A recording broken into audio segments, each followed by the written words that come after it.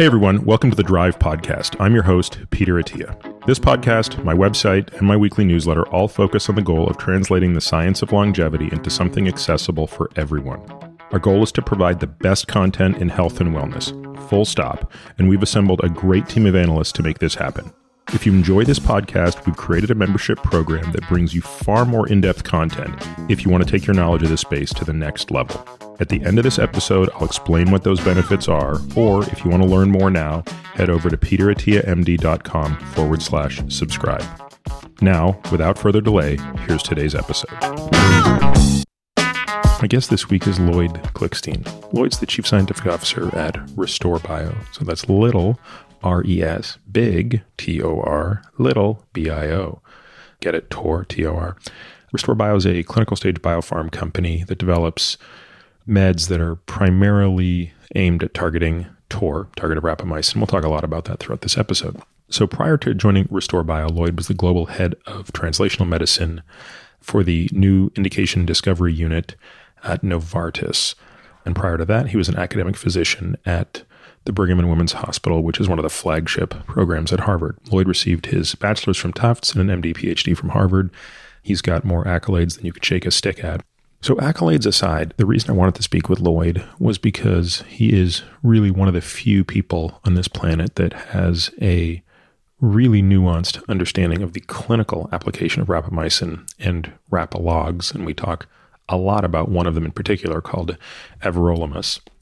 Lloyd was the senior author on a paper that I have spoken about many times on this podcast, which we'll go into in great detail here. A December 2014 paper. Joan Mannick was the lead author on that paper. And that was the study that was basically the turning point in my personal evolution or thinking when it came to the use of rapamycin for the purpose of longevity. Prior to that, there had been a lot of studies that had certainly suggested in animal models that rapamycin could be a true longevity agent, but it was the Mannick Klickstein paper of December 2014 that was the real turning point in my thinking. And that's really where we're going in this discussion, along with talking about all that's been done since then. It is important before we start this interview that I mention, of course, that Lloyd is an employee of resTORbio. Restore Bio is a for profit company that is working on mTOR inhibition. So please caveat everything that we discuss through that lens. Before this podcast begins, I want to note that we recorded this interview in September 2019. Now, in the interview, we discussed an upcoming phase three trial from resTORbio. Since that time, the results have been published, and the study did not meet its primary endpoint. Now, I frankly left the option to Lloyd as to whether or not he wanted to still have the podcast air, and he felt that that would be fine to do. And so we're going to go ahead with it. And eventually, I'm going to be interviewing his colleague Joan Mannick, along with Nir Barzilai. I'm going to have the two of them back on an episode where we're going to discuss a whole bunch of things that'll be quite interesting. And this gets more complicated because I think I have a pretty clear understanding of why that study failed and what it does and doesn't say about selective inhibition of agents like it. Nevertheless, I think the most logical thing to do is to go ahead and proceed with this interview, which is one of my favorite interviews on this subject matter, and just know that there are going to be a number of things that are left as open ended questions from this discussion that we're going to pick back up with Joan Mannick when we do that interview, which I'm scheduled to do a few weeks from now. And hopefully we'll try to get that one out at a much quicker turnaround. There were a number of issues that delayed the release of this, not the least of which being some of the COVID stuff. But uh, I can promise you that there will be a shorter gap between when you are hearing this and you will hear the follow up to this than there was between the recording of this and when you're hearing it. And without further delay, please enjoy my conversation with Lloyd Klickstein.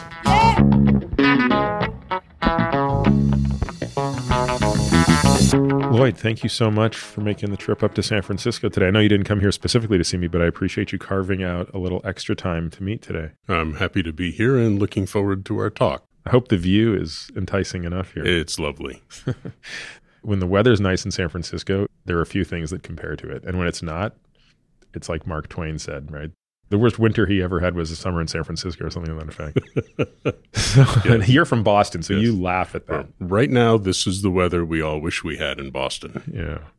So, Tim Wright, one of your colleagues, offered to make this introduction over dinner one night. And there's probably never been in the history of an introduction from the moment the intro was offered until I was sitting down talking to someone on a podcast that was quicker than this one. In other words, I'm sorry to hear that actually. Well, it was just meaning I was so excited when we sat there and it was so I was with Tim and with DA Wallach, who some folks listening will know because I've interviewed DA on the podcast as well. And we were having this dinner and as is always the case when I'm talking with dorky science friends, rapamycin comes up and one thing led to another. And then I'm embarrassed to say this, but the 2014 paper that I talk about constantly, I always refer to as the Mannick paper because she's, of course, the first author, but you're sort of the lead author. You're the final author. You're the senior author on that paper. And so I was embarrassed to say this. I didn't even, when they mentioned your name, I didn't put two and two together. And I didn't know you were at resTORbio at the time either. So anyway, they connected us. We communicated over email. The rest is history. We're sitting here today, and I am beyond excited. And, and this is a topic that I just know listeners are dying to hear about because it's been over a year since I've had a podcast on this topic. So, very early in this podcast, which is about a year and a half ago, we had discussions with David Sabatini and with Matt Kaeberlein, who are both amazing folks and legends in this area as well. So, I'm going to discipline myself for a moment before getting right into the RAPA stuff to give a little bit of background. You've got a pretty interesting background I want to hear a little bit about it. When did you realize this is what you wanted to do, which was be basically physician scientist and then ultimately now move into industry?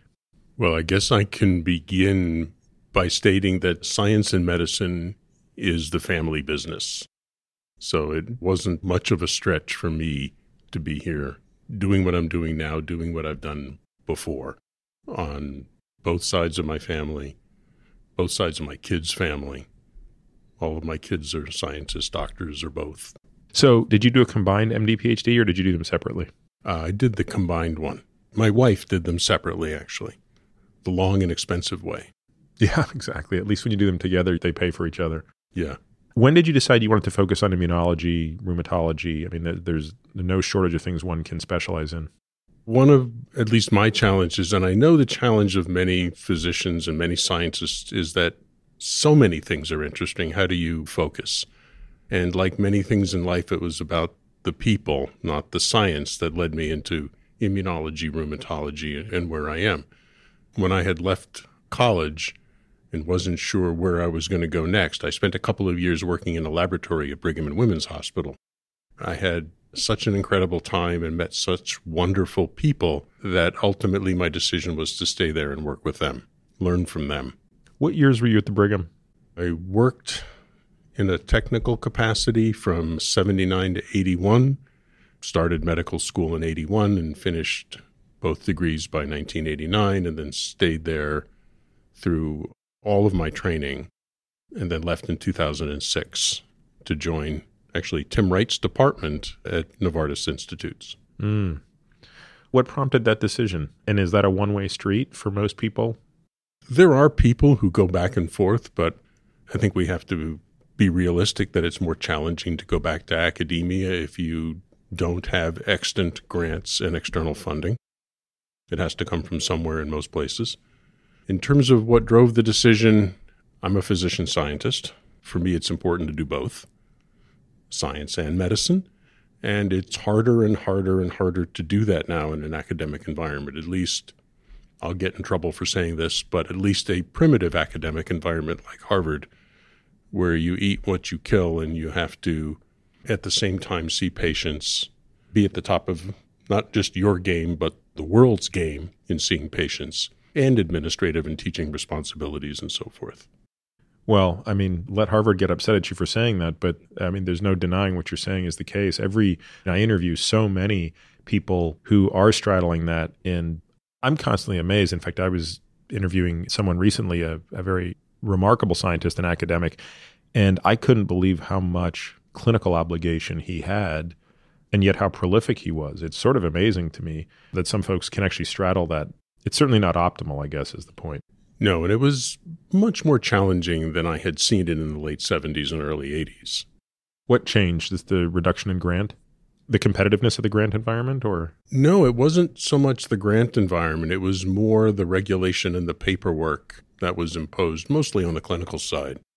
I need to be fair and say i was both running from something and running to something.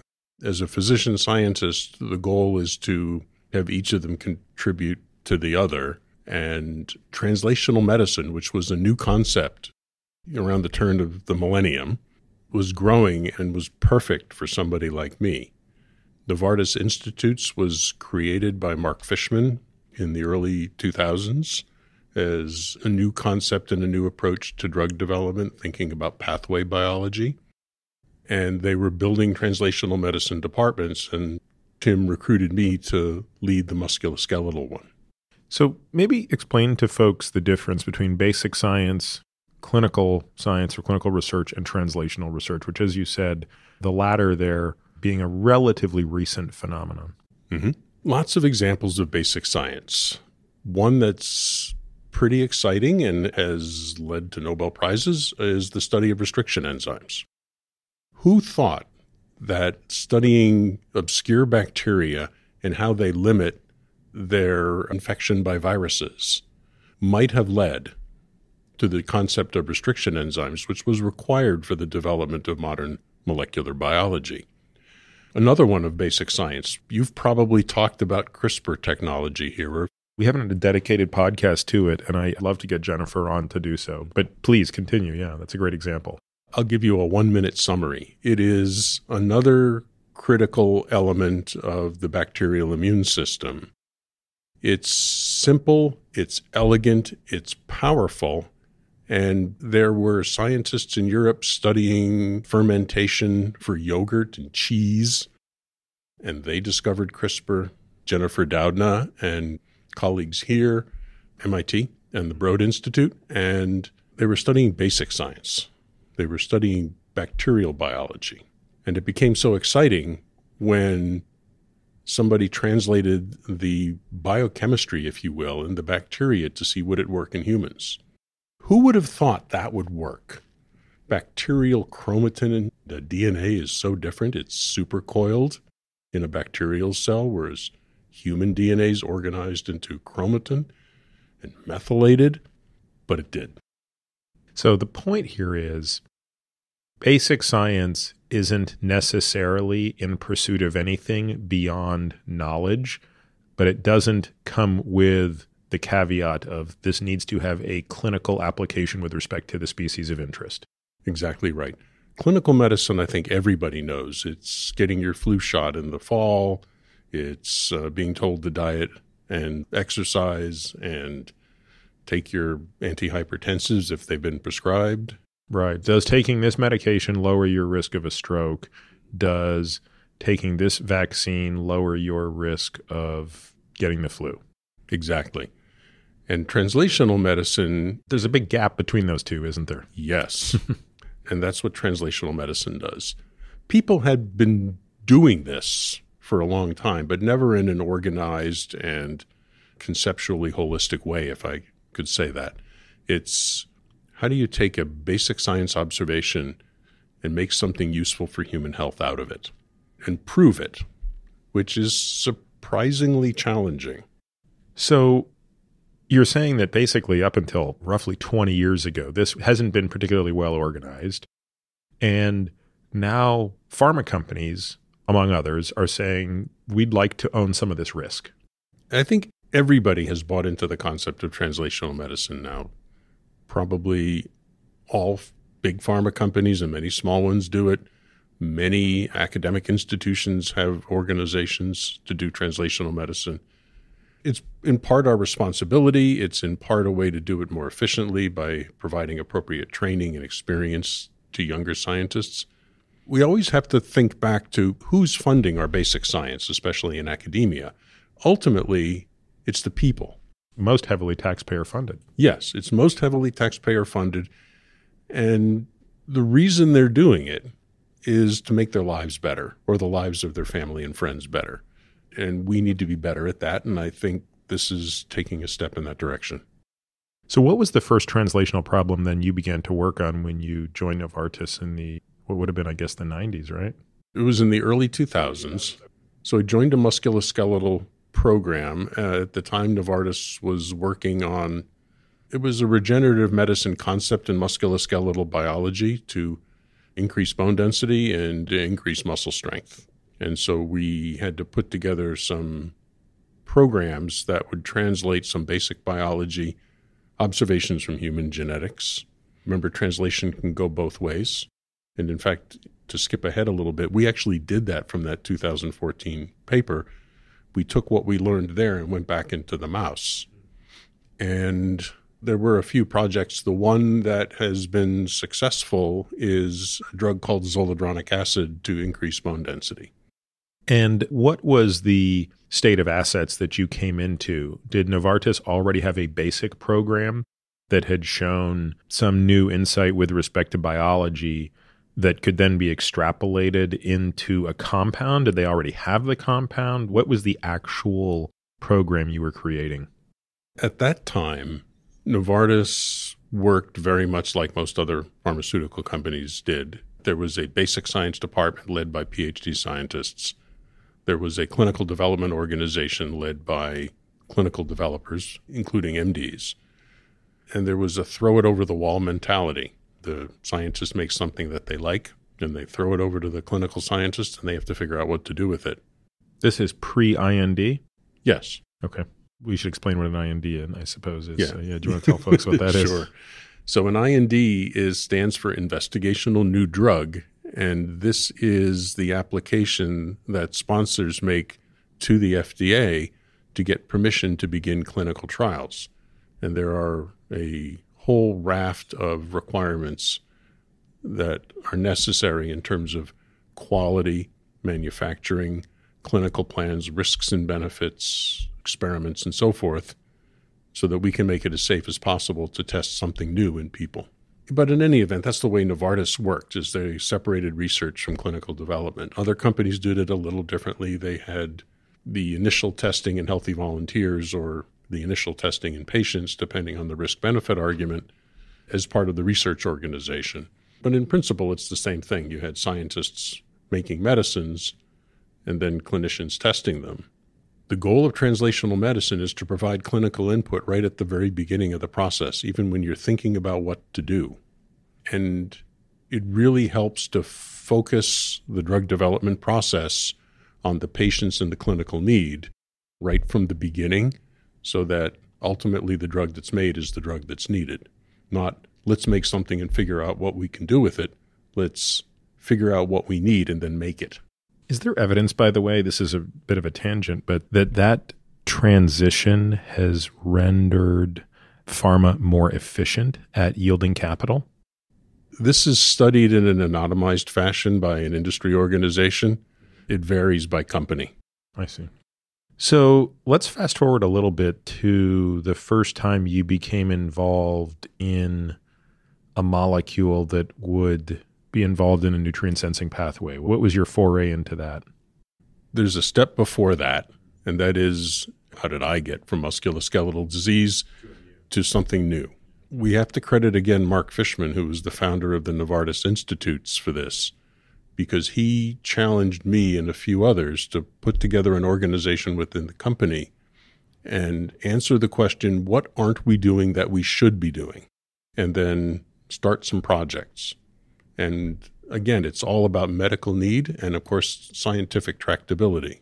So we started that project. We called it the New Indication Discovery Unit. What year is this roughly? Mid 2000s? This would have been about 2008 or 9, we basically applied those principles a real medical need, a problem that's scientifically tractable, and that Novartis wasn't working on, and ideally that nobody was working on. And we ended up with a few very interesting areas. Joan Mannick, who was the first author on that 2014 paper, brought the idea forward. Well, maybe the biology of aging is tractable, but how do we actually make a medicine and develop it. Now, was Joan at Novartis at this time?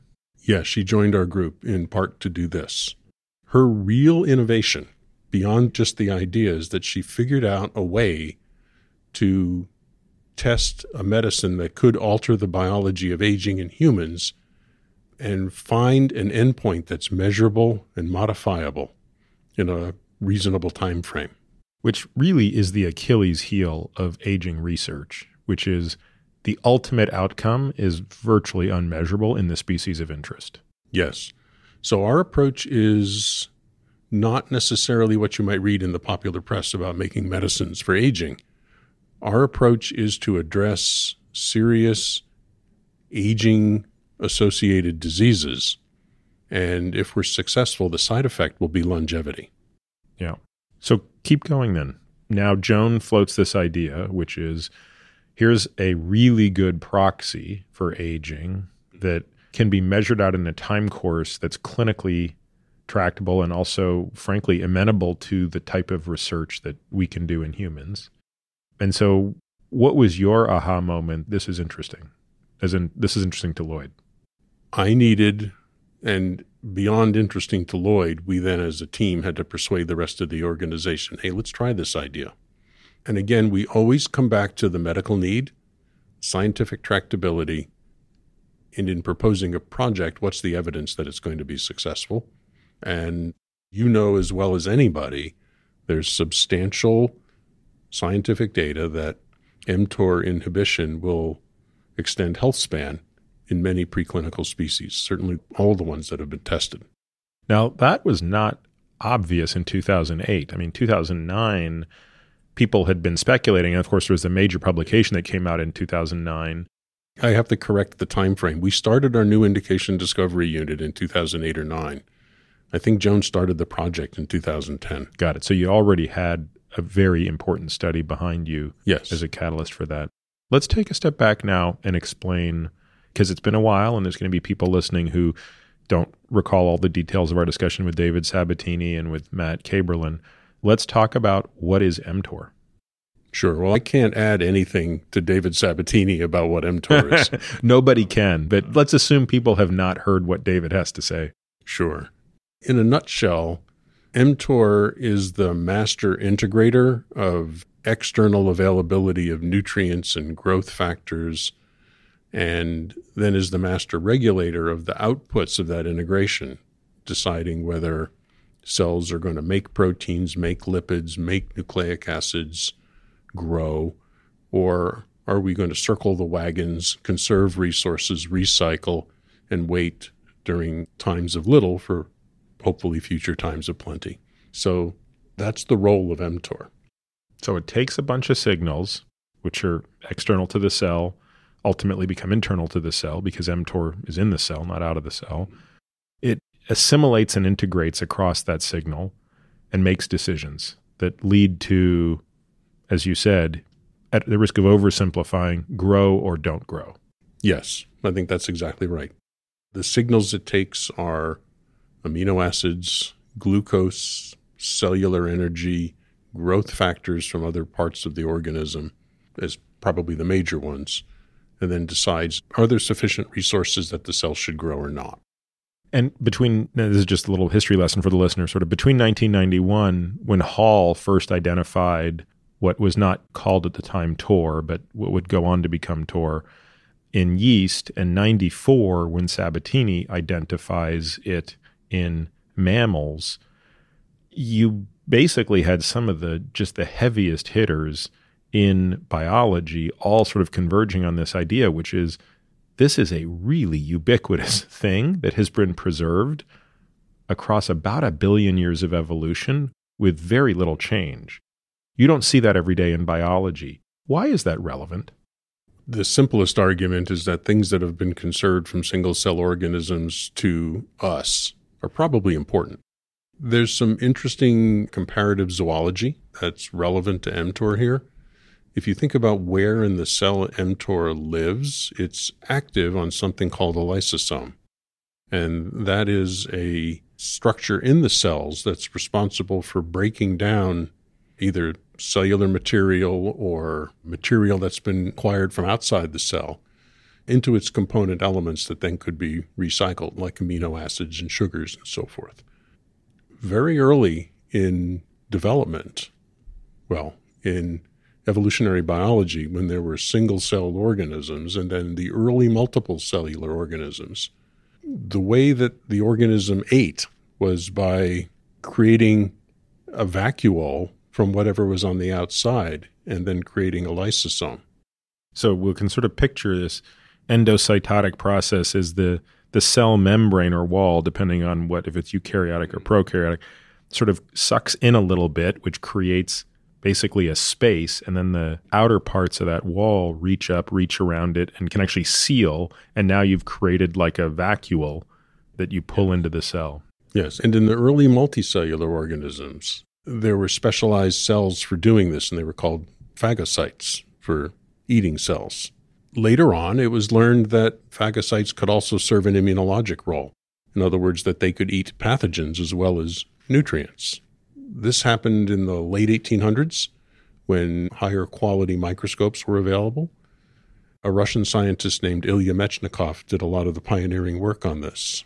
He was working in Paris, and he described, he was an embryologist and comparative zoologist, and he described by looking at small animals that were completely transparent so he could see all the cells inside and what they were doing. He actually imaged them while they were alive and he could watch them eat and he could watch them fight bacterial infections. And he was a major champion of something called cellular immunity. At the same time, some German scientists, notably Paul Ehrlich, were working on what we now understand as antibodies. And they said, no, it's humoral immunity or soluble immunity in your blood. And they had the cellular immunologists in Paris and we had the humoral immunologists in Germany. Eventually, they figured out they were both right, and they both got the Nobel Prize in 1908. But this is why mTOR is probably on a lysosomal vacuole, because in the context of evolutionary development, it was on these vacuoles that very simplest organisms use to ingest food and nutrients. And so you want to have it close to because it's there to sense those things, you want to have it very close to where they enter the cell. Yes, exactly. So if we take a given eukaryotic cell today, take one of our cells, how many mTOR complexes would exist in a cell? What order of magnitude? I'd turf that question to David Sabatini. I don't think I've ever asked David that question. I don't know. I would guess it would be on the order of thousands, not millions, not tens. So one of the other things that David's done is not just recognizing this in mammals, but also recognizing that mTOR, which again, it's one of those things that's funny when you start to explain it to people because you can't explain what mTOR is without somewhere explaining what rapamycin is given the name. mTOR stands for mechanistic target of rapamycin. But David also played the fundamental role in elucidating that mTOR can be organized in a couple of different ways, and sort of two main different ways it can be organized, known as complex one and complex two. Explain a little bit about what those two mean. How do they organize differently? And perhaps more importantly, is there a functional difference between those? Sure. So in yeast, there are two separate TOR proteins, one and two. And in, I think, all other species, there's just one mTOR protein and it can be assembled into two different complexes. One of them, or called TORC1, for target of rapamycin complex 1, regulates many of the things we've been talking about. So, protein synthesis, lipid biosynthesis, protein translation, and so forth. The other complex, TORC2, regulates cytoskeletal, so in other words, the skeleton of the cell's organization and growth decisions. So different. Now, this is sort of interesting. So let's talk about rapamycin now. How does rapamycin interact with TOR, its target? That's an excellent question because you think about TOR being the target of rapamycin. It's not exactly. The target of rapamycin is an immunophilin called FK binding proteins or FKBP. And there's several of these. There's three different classes of immunophilins. The complex of rapamycin bound to FKBP then binds to the TORC1 complex and inhibits it.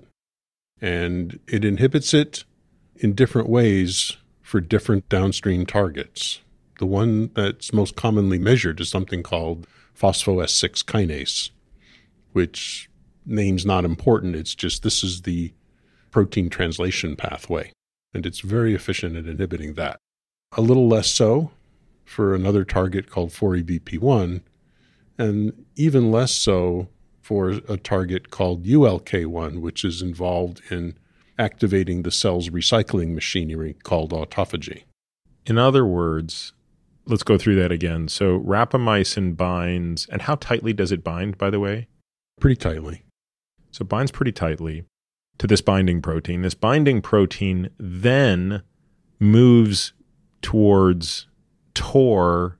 And in the case of, did we explain Raptor and Rictor yet? We haven't explained those guys. Do you want to spend maybe just a minute so that they can see the difference between complex 1 and complex 2? So mTOR is present in both TORC1 and TORC2 complex, but there are proteins that are unique to each complex. So as you were saying, the yeast have two different TOR. Everything else has the same TOR, but it's another binding protein. It's another Yeah. protein bound to it that creates the distinction between complex 1 and 2, correct? Exactly. And we should qualify every organism we've looked at as only one mTOR. I'm sure we haven't looked at all of them. so Raptor and Rictor, again, discovered in David Sabatini's group. Raptor is unique to TORC1 complex and Rictor is unique to the TORC2 complex. And those And they're are, covalently bound to TOR?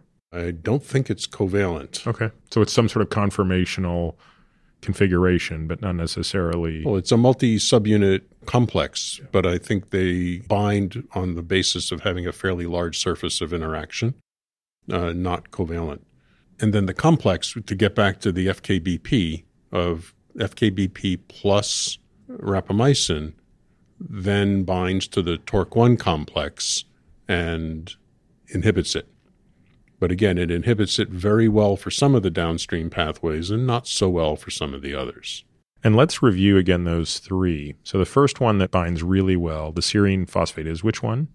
There's the binding interaction of the rapamycin and FKBP to TORC1, Yes. and then that alters the TORC1 downstream activity. It inhibits quite effectively phosphorylation of S6 kinase. S6 is a critical protein in the ribosome required for protein translation.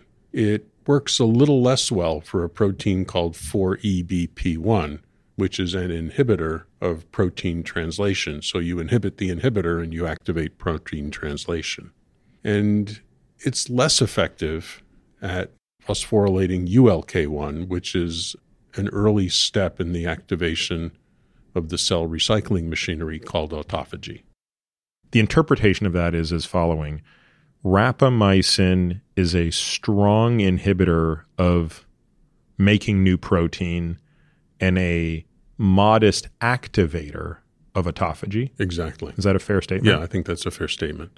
We're talking about these pathways as specific examples. Remember, TORC1 does other things too, particularly in terms of regulation of lipid synthesis, pyrimidine synthesis. Pyrimidines are part of DNA.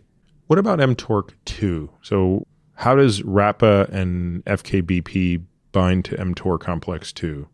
I don't think it does directly because there's no immediate effect of the complex on TORC2 activity. If you look at the downstream targets, they're not affected in the short term. There's a longer term feedback inhibition of TORC2. And is that more due to the failure to resynthesize enough TOR? Is there a shortfall of TOR because so much of the TOR is bound to the RAPA FKBP complex that you now run out of enough TOR to make mTOR complex 2? You could imagine that as one possibility, but I don't think that's the case. I think it's more there's a feedback signaling pathway that downregulates TORC2. What you said is very important, and we're going to come back to it in great detail, but there's something temporal about this, isn't there? Yes. Do we know how much exposure to rapamycin or a rapalog is necessary, constitutive exposure, before you start to see this dual prong of inhibition? Are we talking about a day, two days, three days, a month? I know you had David Sinclair on recently, Yeah. and I listened to your talk with him. He talks about mouse experiments. My bias is to talk about people experiments, given my role. In humans, after a week to a month, you can start to see consequences of TORC2 inhibition with a rapalog alone, and it's reflected in hyperglycemia and hypertriglyceridemia. So, biomarkers in the peripheral blood you can measure. Why is it that inhibition of mTORC2 leads to that phenotype you just described? I don't think we know exactly. Is it confirmed that that phenotype exists in healthy volunteers? In other words, we see this for sure in patients who take rapamycin or its analogs in the context of organ transplantation. But if we took non diabetic, non immunocompromised, quote unquote, as normal as possible subjects, do we have evidence that those things happen? We do. mTOR inhibitors, well, rapalogs specifically, have been tested in non transplant, non malignant disease patients. Some specific examples include the Rapalog RAD001 was tested in patients with polycystic kidney disease. These people are basically well, except for that renal disease. And even in those patients, there were a substantial fraction who saw these biochemical changes in their blood. Now, not everybody gets it. We don't understand that either. Do we know what the dose equivalence was of RAD 001 versus rapamycin? In other words, they were getting it daily. Do you recall at what dose did you start to see this consequence? That was a phase three study. It's published, so you can look it up. If I recall, the dose was 10 milligrams a day, and I, and I think they had an opportunity to decrease the dose to 5 milligrams if it wasn't tolerated. Is RAD 001 identical to rapamycin in dosing? What's the dose equivalence? No, it, again, it's hard to do an exact dose equivalence because the biochemistry of how exactly the complex works with the mTOR complex is a little different. But if your rapamycin dose is somewhere between two and eight milligrams a day, roughly, at the immunosuppression level of dosing, which is what we're talking about, that's comparable to five to 10 milligrams of RAD 001. Got it. So they're pretty similar, but Yeah. not identical. Yes. So let's put a bow on this particular question and then take a step backwards. Is it safe to say that most of the inhibition of mTOR complex 2 seems to produce things that are not really desirable at all, whereas the output of an mTOR complex 1 inhibition pathway seems quite desirable at least sometime? Yes. And in fact, mouse genetic experiments have supported that conclusion. Let's talk a little bit about those experiments. So, if you genetically knock out Raptor so that you no longer have t- complex 1, but you still have mTOR and Rictor, so therefore you have complex 2, what does that animal look like? Depends on how you do it. If you imagine making a mouse that doesn't have Raptor 1, which means it doesn't have Tor complex 1 from conception, I assume it has muscular dystrophy or something like that. They're embryonic lethal. yeah, okay. You need TORC 1 for development. So, if you just turn it down by some amount, 50% reduction, Not much of a phenotype of that. But the way the experiments have been done is you can conditionally knock out a target in a mouse experiment. So you can create an experiment where the mouse is normal and is born and develops normally. And then when the mouse is a young adult, you can knock out Raptor or knock out TORC 1. So once they're out of the development window and they've reached adult size, Then it's better tolerated. yeah. And again, David Sabatini has done a lot of these experiments. His group published a nice paper not that long ago where they knocked out several components of the TORC 1 complex. Inhibition of TORC 1 extends lifespan and health span in rodents. If you do that to TORC 2, it accelerates death. Such an interesting concept. I mean, because what it basically suggests is, at least with the tool that we currently have to block Tor, which is like rapamycin or rapalog, giving intermittent dosing may be beneficial. Giving constant dosing may cancel out the benefit. I don't. It's hard to know because when you give it constantly, you st- you're getting the quote unquote good inhibition and the bad inhibition. You don't know what the net effect is, right? If you're using a Rapalog with continuous administration, yes, you'll eventually downregulate TORC2 as well. And as far as we know, that's not favorable. There are some other ways to do this. And Joan Mannick's second paper from 2018 was the first time we've explored that in humans. I want to come back to the 2018 paper, but I want to build up to the 2014 paper. In 2009, this mouse study comes out It was the first of what would become a series of very interesting, highly reproduced ITPs funded by NIH that sort of did something we didn't typically see, which is consistently across multiple labs and across different strains show the same result. A lot of times in biology, you just don't get that. You get the one hit wonder and it doesn't work in any other model or in any other lab. And that's not because people were nefarious. It's just there's some very, very particular niche sort of circumstances that are being exploited that we don't even understand. That didn't seem to be the case in rapamycin. On a personal level, by 2009, I am now very interested in this compound, but I don't know what to make of it because I remember being a resident at the hospital giving lots of sirolimus, rapamune, to transplant patients along with their prednisone and their other immunosuppressive drugs. And there didn't seem to be anything about that that seemed to be longevity producing. It didn't make sense that you could suppress the immune system and somehow reduce death. Seemed counterintuitive. I mean, in the transplant patient, it made sense because, of course, their greatest risk is by far organ rejection. But these animal studies were not replicating that. So I remember being incredibly confused for about the next five years. How did you guys start thinking about that problem inside Novartis? Joan proposed the idea and again, the real innovation was being able to recognize that I'm doing air quotes for the listeners age of the immune system is something that's measurable and potentially modifiable in a reasonable time frame. And we had that paper from Chen in Science Cell Signaling that showed a short course of a rapalog could alter the biology of lymphocytes. And you're saying that in a favorable way, not a disfavorable yes, way. Yes. Because the earliest observations of Suren Sehgal were that lymphocytes being highly proliferative were heavily targeted by rapamycin. It's all about the dose. Yeah. So let's talk about those doses. As you alluded to earlier, a transplant patient might be taking five milligrams a day of rapamycin, day in and day out. What types of doses were you seeing that were producing this counterintuitive phenotype? Well, if, we get back to the mouse paper. Yeah, yeah, exactly. Like lower or higher, I guess is what I'm saying relative to that.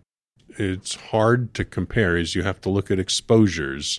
So the doses on a weight basis or a body surface They're much area higher typically. were much higher in a rodent experiment, but the exposures can be comparable. They were actually fairly high in his paper. They were at least equal to what we what we use in transplant. Obviously, we couldn't do that in healthy volunteers, especially healthy elderly volunteers. There was some additional information that gave us some confidence we could use much lower doses than what was used in transplant patients, yielding much lower exposures. And for the listeners, exposures means how much of the drug is actually in your body over time. So let's use Cialis as an example of this. I don't know why, but it's just I was talking to a patient about this the other day. Cialis is typically given as either five milligrams or 20 milligrams. And patients typically have a choice if they want to take 20 milligrams, quote unquote, on demand. So you're heading into the weekend, you're going away with your wife, it's Friday, you take the 20 milligrams of Cialis and erectile dysfunction is ameliorated Friday through Sunday. Conversely, another way to take Cialis is to take five milligrams every single day, whether or not you're going to be sexually active or not. But now all of a sudden, anytime you want to be sexually active, you're functionally like that person who just took 20. Use the lingo of exposure to explain how those two things are comparable. I don't know why this is somehow the first example that came to my mind, but probably just because it was a discussion I had two days ago. It's actually a good example because when you take the medicine, doesn't always reflect if the medicine is in your body or not. And medicines that work have to be in your body to work. So the five milligram dose of Cialis taken once might be in your body for a day. A 20 milligram dose of Cialis taken once is in your body for two to three days. So it's why the higher dose taken once can last over the even long weekend, perhaps, because it's still there. This we call in, in drug development a half life of the drug. So the half life of Cialis is long enough that it can do that. Uh, that is not the case for Viagra, for example. That's right. Now, there's another interesting thing here, which will also be another, will have a parallel to the Rapa story, which is generally patients will tolerate five milligrams daily of Cialis more than 20 milligrams on demand because of the side effects. You have fewer side effects because you don't have the same peak levels. So, five milligrams daily will produce a very consistent and narrow gap between peak and trough, which is therapeutic whereas 20 will overshoot. You'll get a very high peak level, which may increase the side effects, lightheadedness, changes in vision, things like that. And then you have a long enough way down before you hit trough. And it's during that entire window that you have the availability of the effect of the drug. Now, that's true for the class of drugs. The phosphodiesterase inhibitors. Yeah, yeah. P5 inhibitors. It's not true for other drugs. Two specific examples uh, rapamycin, where if you remember when you were treating your transplant patients, you measured trough levels. we levels. measured, yeah, daily. I mean, we were constantly doing this. But you measured the trough levels, not, not the, the peak, peak, levels. That's right. Because the side effects are driven by the trough levels as well as the efficacy. And I think that's also true with gentamicin and a lot of the negative, the antibiotics that have the same toxicities on the trough, right? Yes. So gentamicin, years ago, we used to dose three times a day. And modern times, we dose it once a day and we get better efficacy and far fewer uh, side effects. So, why is that the case that a drug like gentamicin or rapamycin is producing toxicity by its nadir, not its peak? Every drug is different and it depends on the specific mechanism. For gentamicin and aminoglycosides in general, remember these work on the bacterial ribosome, and there's some congruency between mitochondrial ribosomes and bacterial ribosomes. And with sustained inhibition, that can cause toxicity, particularly in the kidney and the tubular epithelial cells, also in inner ear hair cells and some other places. So, having some drug free time seems to allow the organelles to recover. At least that's the hypothesis I heard in medical school. We all know that half of what we learned in medical school is wrong, and they just weren't sure which half you had a better medical school than me. I think 90% of what I learned in medical school is wrong. But you went to Harvard. I only went to Stanford. So I think that's the West Coast, East Coast difference. No, I think that's, I mean, to me, that is the most logical argument, which is drugs that have trough toxicity are drugs where you must have a break from the drug. Mm-hmm. And the higher the trough, the lower the probability of a break peak drugs aren't about time away. It's literally too much of this thing eventually hits a trigger. That's probably an oversimplification, but it's a useful conceptual framework. Yeah. So let's now taking that model back, the first glimmer of hope that this drug had wasn't uniformly immune suppressing was, well, what if we dose this lower, basically? And not from the standpoint of side effects, because that's a common reason you'd go lower, but actually change the profile of inhibition. Was it known at the time that that's what they were trying to do? Like, did they have enough insight into how rapamycin bound to the two different complexes to test this hypothesis proactively? Or was this more empirical, an observation that after the fact the mechanism became elucidated? We had some information up front one bit of information that the mechanism could be favorable for immune function, not solely immunosuppressive, was looking again in your transplant patients at those who were on a calcineurin inhibitor versus those who were on a rapalog. And there was a significant trend that those on rapalogs had fewer cytomegalovirus infections than those on calcineurin inhibitors, all other things being equal. An observational study, not as well controlled as ideally we would like, but it was intriguing. Do you remember the order of magnitude on that difference? So you're basically talking about FK 506 versus cyclosporin. Yeah, yeah. Well, it was rapamycin versus cyclosporin or FK, right? Maybe I don't remember. We'd have to go back and look. So that was item one. Item two is We had done exposure response experiments in cellular systems looking at how much drug is required to inhibit the downstream targets of TORC1. And it was m- much, much lower than the exposures that are observed in the usual dosing framework of rapamycin, at least for transplant and immunosuppression. If we were going to be treating healthy people with a rapalog and test whether their immune function was better, we couldn't be giving them a typical rapalog side effect. And this is, again, a critical element of the translational medicine that Joan did in order to make this proposal is what doses and what schedule would be required to keep the trough levels actually less than assay, which would be as safe as we could get it, plus nonetheless achieve adequate exposures to at least partially or temporarily fully inhibit TORC1. That would let us ask the question. Let's now pause for a moment to explain. We've switched back and forth between the term rapamycin and rapalog. So, again, a little bit of a history lesson, but rapamycin is the name given by Suren Sehgal to the compound identified on Easter Island that went through two companies before being eventually absorbed by Pfizer through Wyeth. And that was a drug named Rapamune or sirolimus, and that was FDA approved in 1999 for transplantation. What was the first rapalog to come along? Arguably, it's rapamycin. The next drug. Yeah, that- sorry, yeah. semantics aside. Yeah. after yeah, yeah, after rapamune, rapamycin, sirolimus, we're talking about the experiment that we're about to discuss in detail is using a different molecule. It's using a different molecule. We called it RAD001 in the paper. The generic name is everolimus. It was the second one. Temsirolimus is another one. How does it differ from rapamune or sirolimus? There's small structural changes.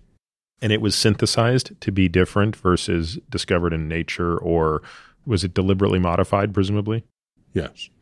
Again, to improve the properties of the compound. Has that borne out? I mean, obviously, there's an IP reason one would do that, obviously, but in terms of clinical efficacy, are there differences? I'm not aware of any comparative studies. In vitro, potency seems to be a little greater. I can tell you from firsthand experience looking at the cost of these drugs, there certainly is a difference. Good Lord. Yes, it's generic versus brand, I think, at this point still. But even Rapamune branded compared to, but anyway. I am not somebody who can talk about drug costs. Yeah, yeah. No, well, well, it's one of the most comical things I've ever seen, actually. So let's now talk about this experiment. I'll tell you from my vantage point, the day I'll never forget, which is I remember getting an embargoed copy on the day before Christmas. So it's Wednesday, December 24th. It's probably noon. It's funny, I was in my office, which is dumb. Why was I in my office at noon on Wednesday, the day before Christmas? I certainly shouldn't have been, but I remember being in my office and I remember how sunny it was. I remember what a beautiful day it was. And I remember someone from the New York Times emailing me the embargoed copy, and it's embargoed. Yeah, it was embargoed for another couple of hours. The person at the time who sent it to me knew how interested I was in the subject matter. And I'm reading this thing and I'm like, this is unbelievable. I just couldn't believe what I was reading. And I have a background in immunology, so of course I can understand what these figures are showing. Give people a sense of how long it takes to get there. So if the public is first seeing this in December of 2014, when did the experiment start? And I mean that conceptually. Like I don't just mean you're enrolling patients. Like this is a about a 4 or 5 year journey, right? That's right. About 2010, we started. So what was the hypothesis that you wanted to test and that you, Joan, and the team wanted to test? There was some pre work before we could ask the question. The pre work was one, we reviewed the existing literature, we, especially that paper from Chen. And we then looked at some other work that had looked at drug levels in cellular systems necessary to partially or fully inhibit the target. And we had to look at a lot of different cells because TORC1's biology, while in the big picture is the same in different cells, the sensitivity of the complex to the drug is different in different cells. And we have some hypotheses now for why that is. And we then did some modeling to understand whether the low doses, and we looked at internal data that the company had to see could we come up with a low dose and a schedule that would yield exposures in people that would partially or fully inhibit TORC1, yet give less than assay trough levels to help ensure safety in the healthy volunteers. Now, Lloyd, was this mostly because at the time you wanted to see if it even made sense to pursue a new molecule entirely that would inhibit complex 1 or so called selective inhibition? But the idea is why go down that path of doing that without a proof of concept that says it works? Or did you think at that point in time, if we can get this to work, you would never need a selective mTORC1 inhibitor? You're asking really for Novartis thinking that's probably still confidential. Okay. But the big picture is we want to know if something works. We want to figure out if we can make it better. Again, ultimately, Novartis, we at resTORbio, and hopefully everybody at a pharmaceutical company is thinking about how can we make patients' lives better and then everything else is important, but secondary to that. And then what do we measure? What dose do we use? How frequently do we give it? How long do we treat people? How do we answer the question clearly? What do we measure? All of those questions had to be answered, and they had to be answered before Joan brought the program to the decision board of the company to say, give us a lot of money to do this experiment. Each of these clinical experiments cost millions of dollars. And at the time, RAD 001 was FDA approved for another indication or no? Yes. It was already approved in cancer or in. I think it was in renal cell. RCC? Yeah. Yeah. Okay. So that only raises the stakes of what you're asking because you're taking a drug that's already gone through phase three and you're going to spend a lot of money on it that you technically don't need to spend.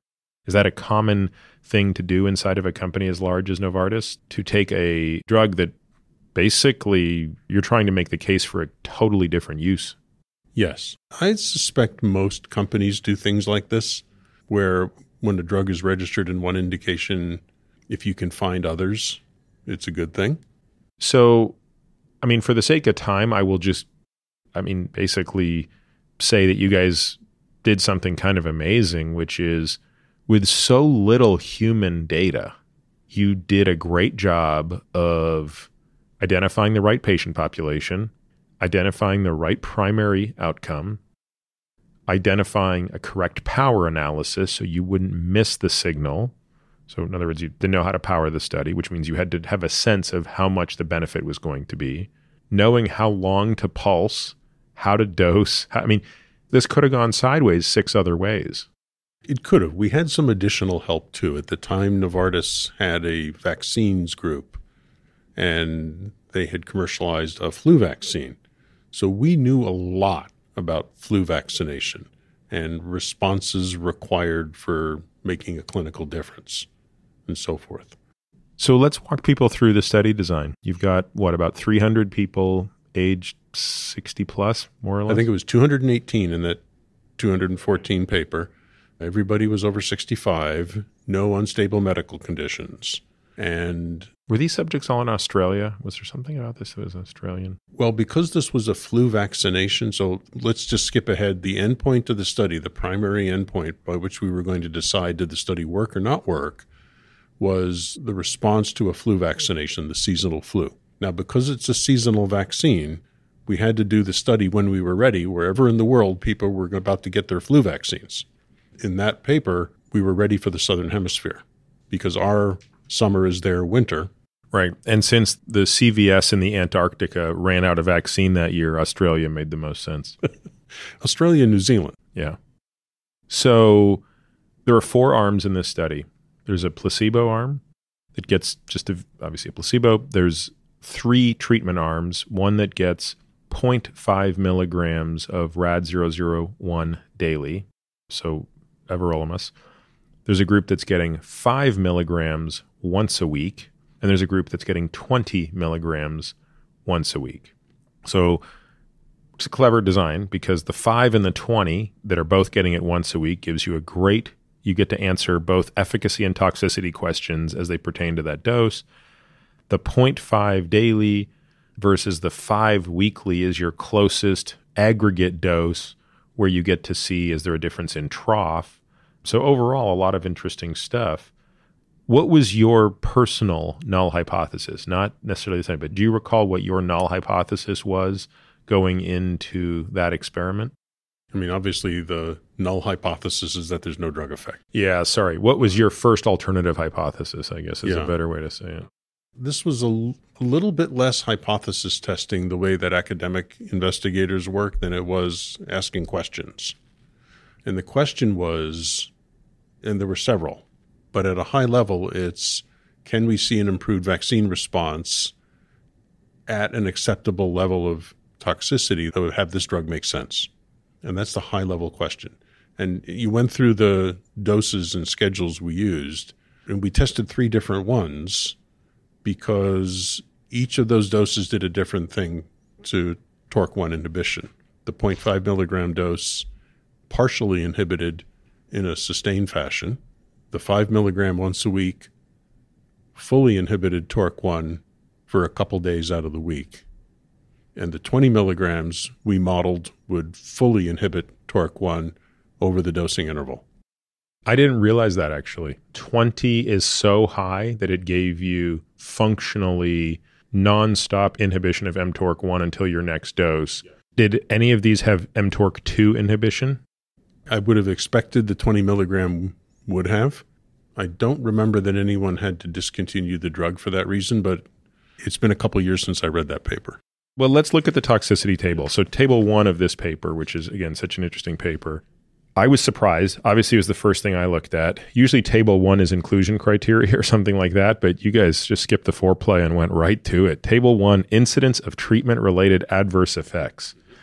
I wish I could honestly say I remember how I read this the very first time because I've looked at it a number of times since. But what's interesting is I certainly remember seeing that the placebo group had 21 adverse events. So that's important to always keep in mind when you look at clinical studies is there's just a baseline level of adverse effects that have no bearing on the drug whatsoever. So it's almost like you could subtract 21 out of all of the others to get a sense of what the noise is. So the group that got 0.5 daily had 35 adverse effects, and the, each of the treatment groups had about the same number. So, I mean, there were 53 groups in each of the three arms, 59 in the placebo. So the 21, you might discount that slightly. But it basically went from 35 to 46 to 109. So at this point, obviously, this means each patient is having more than one adverse effect, likely. But here's what I found interesting. The next line in the table tells you how many people actually had adverse effects. So, not just the total adverse effects. And this was surprisingly constant. So, in the placebo group, it's 12. In arm one, it's 22. In arm two, it's 20. In arm three, it's 27. So, looks like 0.5 daily versus 5 weekly. No real difference in adverse effects. And by the way, I'm not going to, don't worry, I won't read you guys the whole table here. We're going to link to this paper in the show notes. The other thing that really stood out to me, though, in terms of side effects, was mouth ulceration. Now, that's the side effect I remembered the most from residency was the patients getting aphthous ulcers with their daily dose of rapamycin, and most of them were getting more than 0.5 daily. So most of the patients that I re- my recollection was that two to four milligrams was a very common daily dose for Rapamune. And again, this is RAD 001, so it's a different vehicle, but it's comparable. And so 0.5 daily would definitely be lower than what I was used to seeing people get. And yet 11.5% of these folks had mouth ulcerations, whereas the people getting 0.5 daily were at 0.5 once a week was about 4%, and 20 once a week was about 17%. So that's really interesting. I mean, that tells a very interesting story about the kinetics of this drug. Was there any other toxicity that surprised you in the study? Well, as you pointed out, mouth ulcers are one of the more common and fairly specific side effects for rapalogs. Should we spend one moment explaining why? I think we could certainly speculate why. I don't think anybody knows why. There are some hypotheses, but and it isn't just rapalog associated mouth ulcers. We don't know what causes the ordinary spontaneous aphthous ulcerations that people get. There's been a fair amount of work on it, but nobody knows. There are a lot of mysteries in medicine, and that's just another one of them. Anecdotally, through five years of residency, I don't think I went more than two weeks without an aphthous ulcer. They can be stress related. I'm sure they are. And it was to the point where they would drive me so bananas. I couldn't even get relief from those sort of topical lidocaine gels. The only thing that could give me real relief was if I could inject bupivacaine directly into it because it was such a long acting agent. Lidocaine only lasts an hour or two. That was not going to do me justice on a call night. And it got to the point where I would sit there and inject bupivacaine into my tongue or into my mouth. And I remember once somebody walking in the call room while I'm sitting there holding my gums out, jamming bupivacaine in, and I'm they must have thought I had some drug problem. But two weeks after leaving residency, I never had an aphthous ulcer again. I hope you never have another one. They're well, very, they're I, I, very painful. They're unbelievable. But then, of course, I did get them once I started rapamycin. So we'll come back to that. But I certainly went many, many years without them again. My hypothesis was some combination of stress and sleep deprivation might have played a role. It doesn't help mechanistically, though. We just don't understand them. Yeah. So overall, I thought the side effects were less than I would have expected. Let's now talk about the results. I'll actually hand you the table here because I don't, not that I would ever expect you to remember table 2A, but walk a little bit through kind of what you guys saw and how you tested it. So you're using a couple of different flu vaccines, et cetera, a couple of different strains. Yeah. So the standard flu vaccine had, in those days, three different antigens for three different kinds of viruses two influenza A strains, one influenza B strain.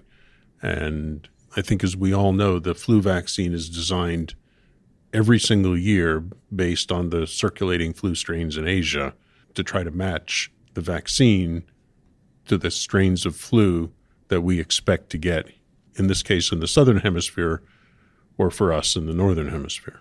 So patients were treated with one of those doses of RAD 001 or a placebo. The study was randomized, double blind, and placebo controlled. So neither the doctors nor the patients knew who was getting what. And I guess there's one detail I omitted, which, if my memory is correct, the patients were treated for eight weeks Six weeks. Six weeks, and then there was a washout. So then yes. they had a period of nothing for was that six to eight weeks? It was two weeks after the six weeks of treatment. Oh, that's where the eight came in. So it was six of treatment, two of washout, then vaccination. Right. And the rationale for that was we wanted the drug to be completely gone at the time we vaccinated. So we were asking the question is this a residual effect of the drug on the immune system, not not a lingering effect on the immune system per se. Yeah, not a direct effect of the drug, but a, an indirect. Yes. Okay, so with that said, what was the first finding? So we were looking for whether the f- response to the flu vaccine was 1.2 fold better in a drug treated group than the placebo. And that 1.2 fold came from a previous study that had been published that showed that was the minimum requirement to see a clinically meaningful decrease in symptomatic flu in vaccinated patients. We saw and we required, and this was pre specified, two out of the three strains to have that improvement. And we saw that improvement, or better, in the two low doses of RAD 001, but not in the high dose. In the high dose, we just saw one strain. One of better. the three strains was better. And the other two were actually a little below one, so a little below the placebo. What do you make of that? Is it noise? Do you think there's something mechanistically happening there? Yeah, I do. I think we certainly know that high doses of rapalog are immunosuppressive. The dose of 20 milligrams once a week is sufficiently high to fully suppress TORC1. I expect that we probably interfered with lymphocyte proliferation. And do you think it's just a tweak that you didn't see? What's confusing to me is that you still saw a much greater immunity in one strain. And if I recall, it was even higher than the two low doses. Thinking about the first figure in the top figure in the second figure of the paper. So that would be my first guess would be oh, clearly you just hit the daily dose of an immunosuppressed patient if they were all below baseline. But if you did a 25 weekly in there, do you think you would have just seen them all eventually start to go down? Certainly, if we got to some high enough dose, I think they all would have been low. I got it. Yeah. So it's almost like there's a J curve here, or an upside down J curve, really, Yeah. or an upside down U, I suppose, of some combination of dose and frequency producing a sweet spot where we're seeing. And by the way, I can't recall, it's been so long since I looked at the paper. Was there any lymphoproliferation? I mean, these were functional assays. Any changes in the counts of lymphocytes or any other? This specific assay that was the primary endpoint was an antibody titer assay. Right. We didn't do mixed lymphocyte reactions or some proliferation assay as part of this paper. Did anyone ever look at fractions of lymphocytes? For example, did anyone look at CD25, CD3 to see if anything had happened to suppressor T cells? We didn't do it in this study. Well, we didn't do functional lymphocyte assays. Part of this study was a very comprehensive multidimensional flow cytometric assay to get lymphocyte subsets.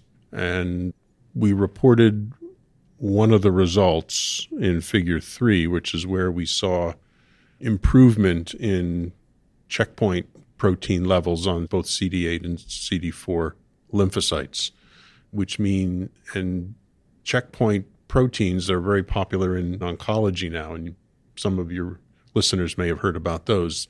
Things like PD1, for example, the drug target of Keytruda or Opdivo. We had Keith Flaherty on recently, and we had a beautiful discussion about checkpoint inhibition. But that said, let's assume people don't know what that is. It's always worth rediscussing it. Yeah, these proteins inhibit lymphocyte function and they go up as the lymphocytes get exhausted. And what we saw in this study is that the level of PD1 went down on the lymphocytes in the drug treatment group compared to the placebo. By what percent? It was a relatively small effect, a 10 to 20% change. But comparable to the effect that you saw in the increase in antibody recognition. I mean, it was like the mirror of that. I guess, yeah. And presumably, the teleologic rationale for that is the more tired a lymphocyte gets, the more it wants to weaken its brakes. I'll go along with that. Everything in me, in my world, Lloyd, comes down to just anthropomorphizing the immune system. There you That's go. how I do things. So, has anyone looked at this, by the way, to see what rapamycin does or rapalog does in this type of intermittent dosing to inhibitory T cells? There have been a lot of studies of T cell subset functions with rapalogs, both in mice and in humans, looking at effector memory transition, looking at Tregs with high exposures. There's substantial inhibitory effect on B cell function. There's a lot out there. Do you think that rapalogs could be used to suppress Tregs? Selectively, of course. There are a couple of papers that show that. Because it would sure be interesting to start layering in rapalogs with immunotherapy, oncology specifically. Yes, yeah. There's a small literature on that. What else did you see in this paper? I, mean, I think we've touched on the high points. Yeah. The other experiment we did, which I think we mentioned in the text but didn't go into great details, is the flu vaccine is a T dependent antibody response. We also vaccinated patients with a 23 valent pneumococcal vaccine, which, which is is B cell. Which is a pure polysaccharide vaccine, so it's a T independent response. We were thinking, could we improve antigen presentation, perhaps if the dose of the rapalog we used augmented autophagy, and could that contribute to antigen presentation? We saw, and we measured seven of the 23 antigens. Wait, tell me why that would be. That's not an obvious purview into autophagy to me. So let's back that up a little bit. So you're giving them a pneumococcal vaccine, which is what type of vaccine? That's a Polysaccharide antigen. polysaccharide antigen. You're not giving back the whole bacteria. And how does it get presented to the immune system? There are specific elements of innate immunity that recognize bacterial polysaccharide antigens, and that brings it to professional antigen presenting cells, likely dendritic cells. Then it has to be internalized and then presented. So that's MHC class one. This isn't a peptide presentation. This is presented in the context of an innate element that recognizes polysaccharide antigens. Okay. All right. So we're outside of class one, class two. Yes, yes. And you're saying the ability to internalize, or basically the ability to phagocytose that lipopolysaccharide and then and directly stimulate B cells. Yeah. It was an exploratory element of the study. We saw in the seven specific antigen responses we measured, if I recall, six of them increased, but by a small amount. It was a encouraging trend, but we didn't further follow it up. Okay. Any other markers you could have here for autophagy? I mean, did you look at light chain transition or anything like that? No. Autophagy is a really difficult clinical investigation paradigm. And I know you recently saw Mitch Weiss's paper on unpaired hemoglobins in thalassemia patients. I was super excited when I read that paper because here is now a clinical paradigm where we can test drugs that augment autophagy and see something easily measurable in a not that rare patient population. Yeah. Let me think. In those patients, did you collect serum that allow you to look at amino acid levels in the plasma or anything else? No, we didn't do any of that. Do you still have any of that banked serum? I don't think so. Easy enough experiment to repeat, but but of course, the other thing I'm curious about is is there anything about RAD 001 administration that mimics fasting, for example? I mean, how much of the benefit here is through direct inhibition of mTOR? And are there any pleiotropic benefits that aren't quantified through this? Obviously, some of them, I mean, the fact that you waited until the drug was out of the system to check the immune response is actually a great insight because obviously you eliminate some of those things. But in the way that many people have argued statins have a direct effect, they inhibit cholesterol synthesis. An indirect effect, the liver upregulates LDLR. A really indirect effect, which is immune suppression or other sort of benefits around endothelial health and things like that. Do you think there's a possible third leg to this stool that we haven't thought about? The fasting story is kind of complex. So, do I think there's some other persistent benefit of of rapalog? I think the mouse experiments tells us there is, and it's because relatively short course of rapalog is nonetheless sufficient to extend a mouse's lifespan. And we do not understand that. Although it's so hard to extrapolate what short versus long means in a mouse, isn't it? Yes. Look at the mouse that fasts for 24 hours. Look at Jay Mitchell's stuff where they do a one day fast prior to a femoral artery ligation and a reperfusion, where the mouse that was just fed normally through the insult, they all die. The mice that had 24 hours of fasting prior to a lethal reperfusion injury either all or mostly live. I don't know how to extrapolate that into a higher order animal because it's not even the duration of the fast, it's the metabolic consequence of the fast. There's some long term consequence of that that we don't understand. And there's several things you could hypothesize. Is there a change in the DNA structure based on histone methylation or DNA methylation? Is it, or is it something else? Those are just the things that come to mind. Yeah, that's a great point, right? Is you could literally be resetting methylation on that. You could turn back a methylation clock to its template, potentially. But people have looked at that with rapalogs and it doesn't seem to happen. In other words, you take a Horvath clock pre and post, and you're not seeing unwinding of methylation. Yeah. That's been done in mice as well, or just in humans? I suspect it's been done in a bunch of species. It's one of these sort of negative studies that may never get published. That's a pet peeve of mine, by the yeah. way. Negative studies not getting published. I think it's a pet peeve of a lot of people. It's hard enough to publish positive studies. And I'm sympathetic and agree. Yeah. So we're high fiving on New Year's Eve 2014. How do you go from what is Novartis? And again, if this is confidential, by all means, just gloss, you know, we'll skip it. But what do the brass at Novartis think of the results of this experiment, which is effectively taking a drug that we already have on the market for a very clear indication and now potentially expanding an indication? Can the FDA take a study? This is a very well done study here. This is double blinded, this is placebo controlled, and this found a significant outcome. Is that enough to change the indication for a medication like this? I can speak in general, and that for an indication that could be relevant to many, many people, you need a corresponding a, a lot of safety data. This study was way too small for studies that would be required for marketing authorization.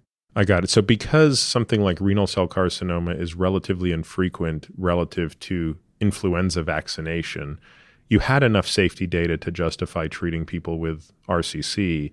This would not constitute sufficient safety data to basically give every person over the age of 65 who's getting vaccinated this type of a medication. That's exactly right. If we fast forward a little bit in the conversation, we've advanced this program in resTORbio. Novartis licensed it to resTORbio. And our phase three program is two very similarly designed clinical studies. One has 1,000 patients, the other one will have about 1,600 patients. You able to speak about how the decision was made for resTORbio to basically acquire a piece of an asset from Novartis and, and what else was brought in to create that company? And how did you, Joan, and I assume many others decide to leave? I mean, that's obviously a loss to Novartis, presumably, which implies that they probably still have a vested interest in the success of resTORbio. Yeah, let's take one step backwards and answer an earlier question you asked, which is what did Novartis think when we oh, got yes, these yes, results? Thank you. Yeah. And I think everybody was very excited for reasons that you're excited. That was my Christmas present of the year. Yeah. and and the guidance was this is so important, let's go back and do it again. Try to do it in a more TORC1 selective way. Are you able to say how much that study cost, just to give a sense of? I don't think we talk externally, but any clinical study like this, a phase two study with two to 300 patients, costs millions. And a lot of the cost is driven by often exploratory assessments you do in the context of the study beyond the per patient cost and investigator cost, but millions. I mean, it's a lot of money for anybody, and it's done with a lot of deliberation and thought. So the guidance was to go back and do it again, make sure it's real, come up with a way to be more TORC one selective. But using the same vehicle, which means putting a finer point on the dosing, not necessarily. I mean, you're still not at the point where people are saying we need to make a new molecule to replicate this. Well, we had one. Oh. The research team at Novartis had come up with a very cool finding that a combination of an allosteric and catalytic TORC inhibitor could be more TORC one selective and more potent. There was actually synergy. And this is published by Beat Nyfeler and Leon Murphy. They showed synergy of so a rapalog. Can you explain to folks what the difference is between allosteric versus catalytic inhibition? Sure. So catalytic inhibition means an inhibitor that's binding at the catalytic site of TORC1 and blocking phosphorylation of targets. An allosteric inhibitor is a fancy way of saying an inhibitor that binds someplace else on the molecule and nonetheless inhibits it. Rapamycin complex. I always think of allosteric as sort of shape blocking. Could be. Yeah. Let's say shape blocking. So in this case, the allosteric inhibitor is the combination of FKBP12 plus rapamycin binding to TORC1. So the combination of those two synergistically inhibits TORC one, and it's a little more TORC one selective. Everolimus does the same thing. It also binds to FKBP. Yes, it binds to FKBPs also. Maybe later on we can get to that Lamming paper, which is which yeah, I'd love to get to that paper. Yeah. Yeah.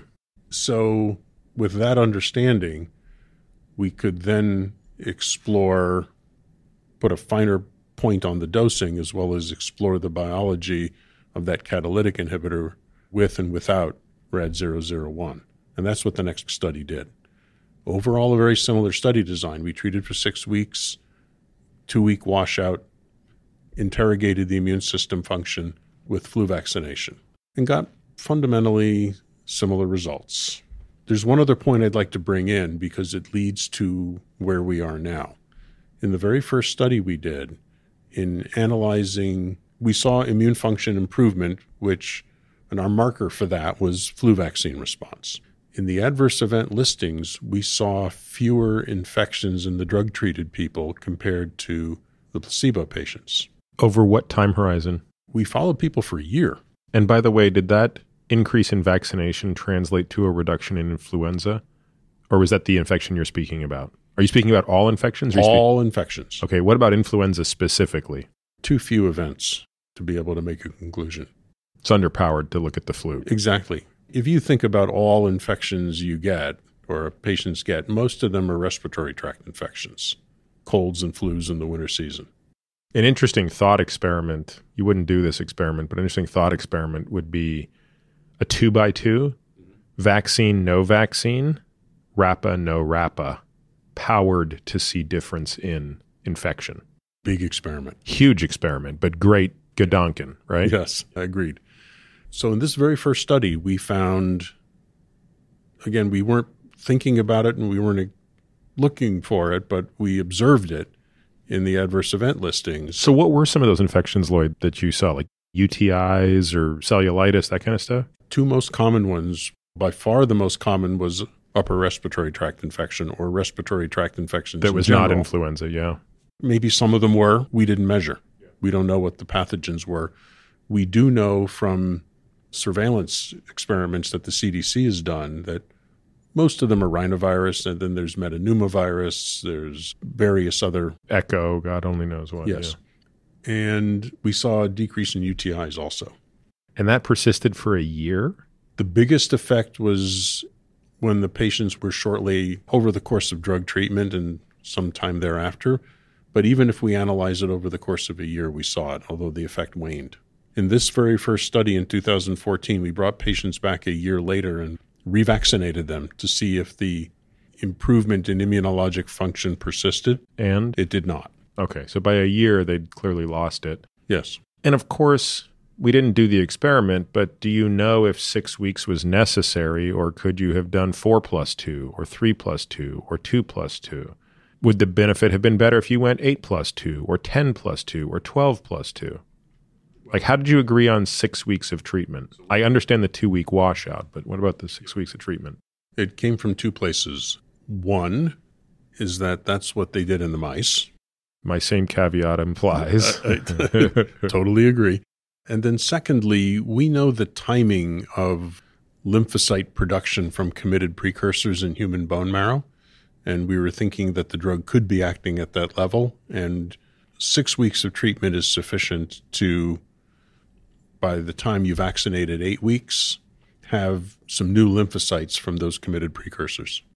So your hypothesis would be six was the minimum time required to get a full turnover, and going eight versus 10 would not necessarily bring benefit and might only expose you to longer side effects. We actually never tested this. We came up with our dosing period for the rationale that I gave you, and we've not, at least with a Rapalog, tested other intervals.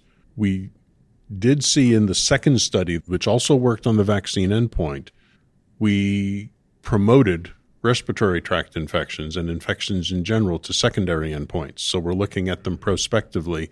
We're collecting them more carefully That was in the second study, in though. the second study. And again, the drugs decreased the incidence of respiratory tract infections. The biggest effect was observed with just the catalytic inhibitor alone. The second biggest effect, Wait, the catalytic inhibitor was a new molecule? Yes, it's a new compound. It was in that paper, it was called E BEZ235. And this is the molecule licensed by resTORbio. So E BEZ235 is not RAD001 combined with something else. No, we tested the combination and it also decreased respiratory tract infections, and the combination was the best at improving the flu response. But the single catalytic inhibitor was the best at preventing respiratory tract infections. This study had an extra arm. It was a somewhat bigger study, 264 patients. Was this the one published two years ago? Yes, 2018. Oh, yeah, yeah, yeah, a year ago. Okay. So let's now talk about the creation of resTORbio. Mm-hmm. So essentially, the story is that we did the second study for prevention of respiratory tract infections and enhancing immune function with mTOR inhibition. Worked again. Everybody's excited. And Novartis, as in most big companies, big pharma companies, the research teams produce more than global development can handle. And it's done deliberately. It gives early in drug development, you never know exactly what's going to work best. You want to create enough opportunities so something will be exciting. And the program transitioned to global development, and they had a lot of exciting things to do, and this fell below the funding line. It reflects in part the excellent productivity of Novartis research. It reflects in part the great opportunities the global development has. Of course, as the champions of the program, we were kind of disappointed.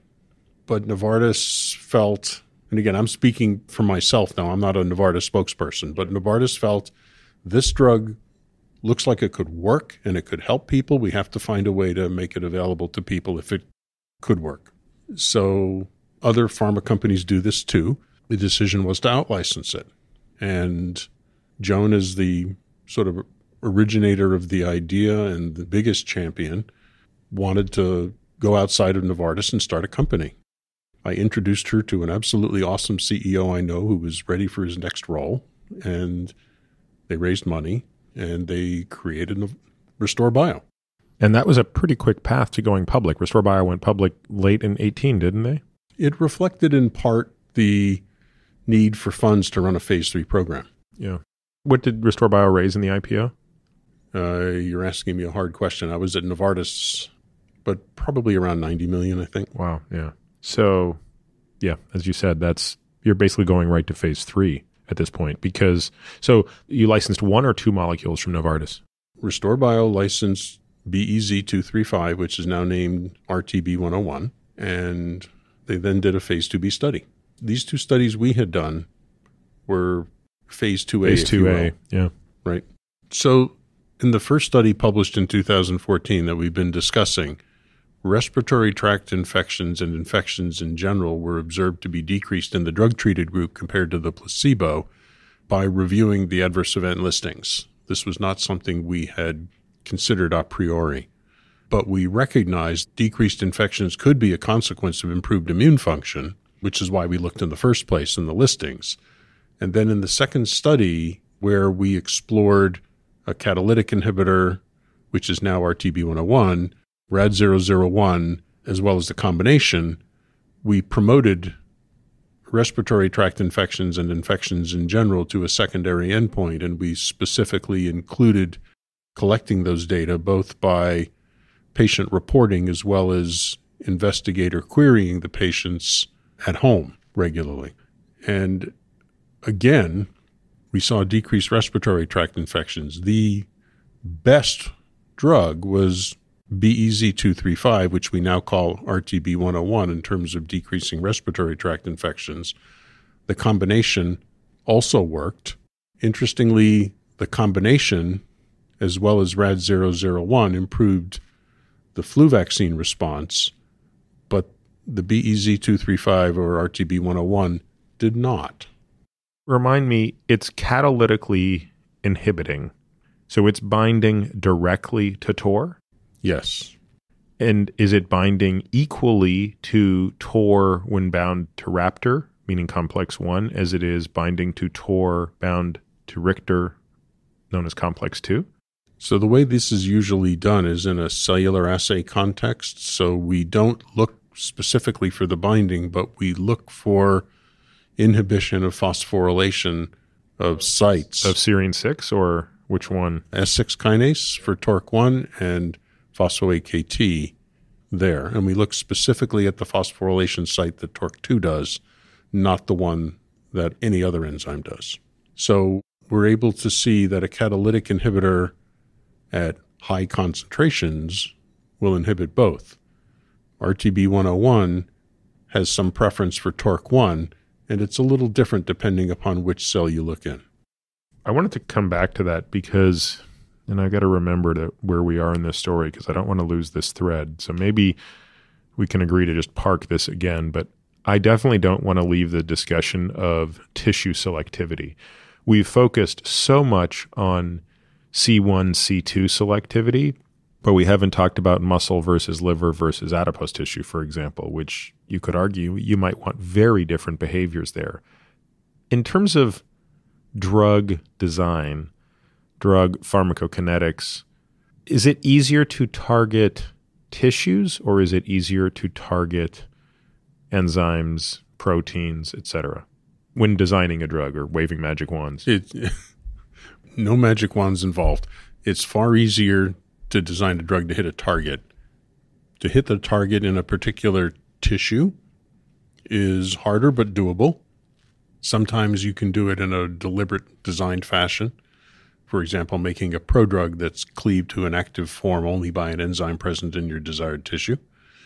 You also have to be mindful that within every tissue there are multiple cell types, and you want the drug in the cell type that will make the difference. And again, all of this is possible, and it's just how much time and effort you're going to put into it. So, when you go back to even the first experiment in 2014 and all of the animal data that came from it, did you have a sense of where this was acting tissue wise? Did you feel like you were acting on bone marrow? Did you feel like you were possibly acting in the thymus? Did you feel like you were acting in some other cell line that directly or indirectly was playing a role? I mean, or did you have a sense that you were seeing this everywhere, but it didn't seem to matter except in the bone marrow? We thought it would be bone marrow and perhaps secondary lymphoid tissue, uh, which are lymph nodes or glands, but we didn't explore it exactly. In general, small molecules that aren't specifically tissue targeted will often go to many tissues. We knew from toxicology studies with the compound that it distributed to our target tissues. We felt we had enough information to move ahead. Yeah. So when RTB 101 was basically the basis upon which resTORbio was formed, correct? That's right. Now, I was very confused during your road show, which was about a year ago, maybe more than a year ago. It might have been early 2018. I've sort of lost track. You were at Novartis at the time, so it wasn't really your road show at the time. But I naively, I guess, thought that RTB 101 was actually RAD 001, the everolimus, combined with a PI3K inhibitor.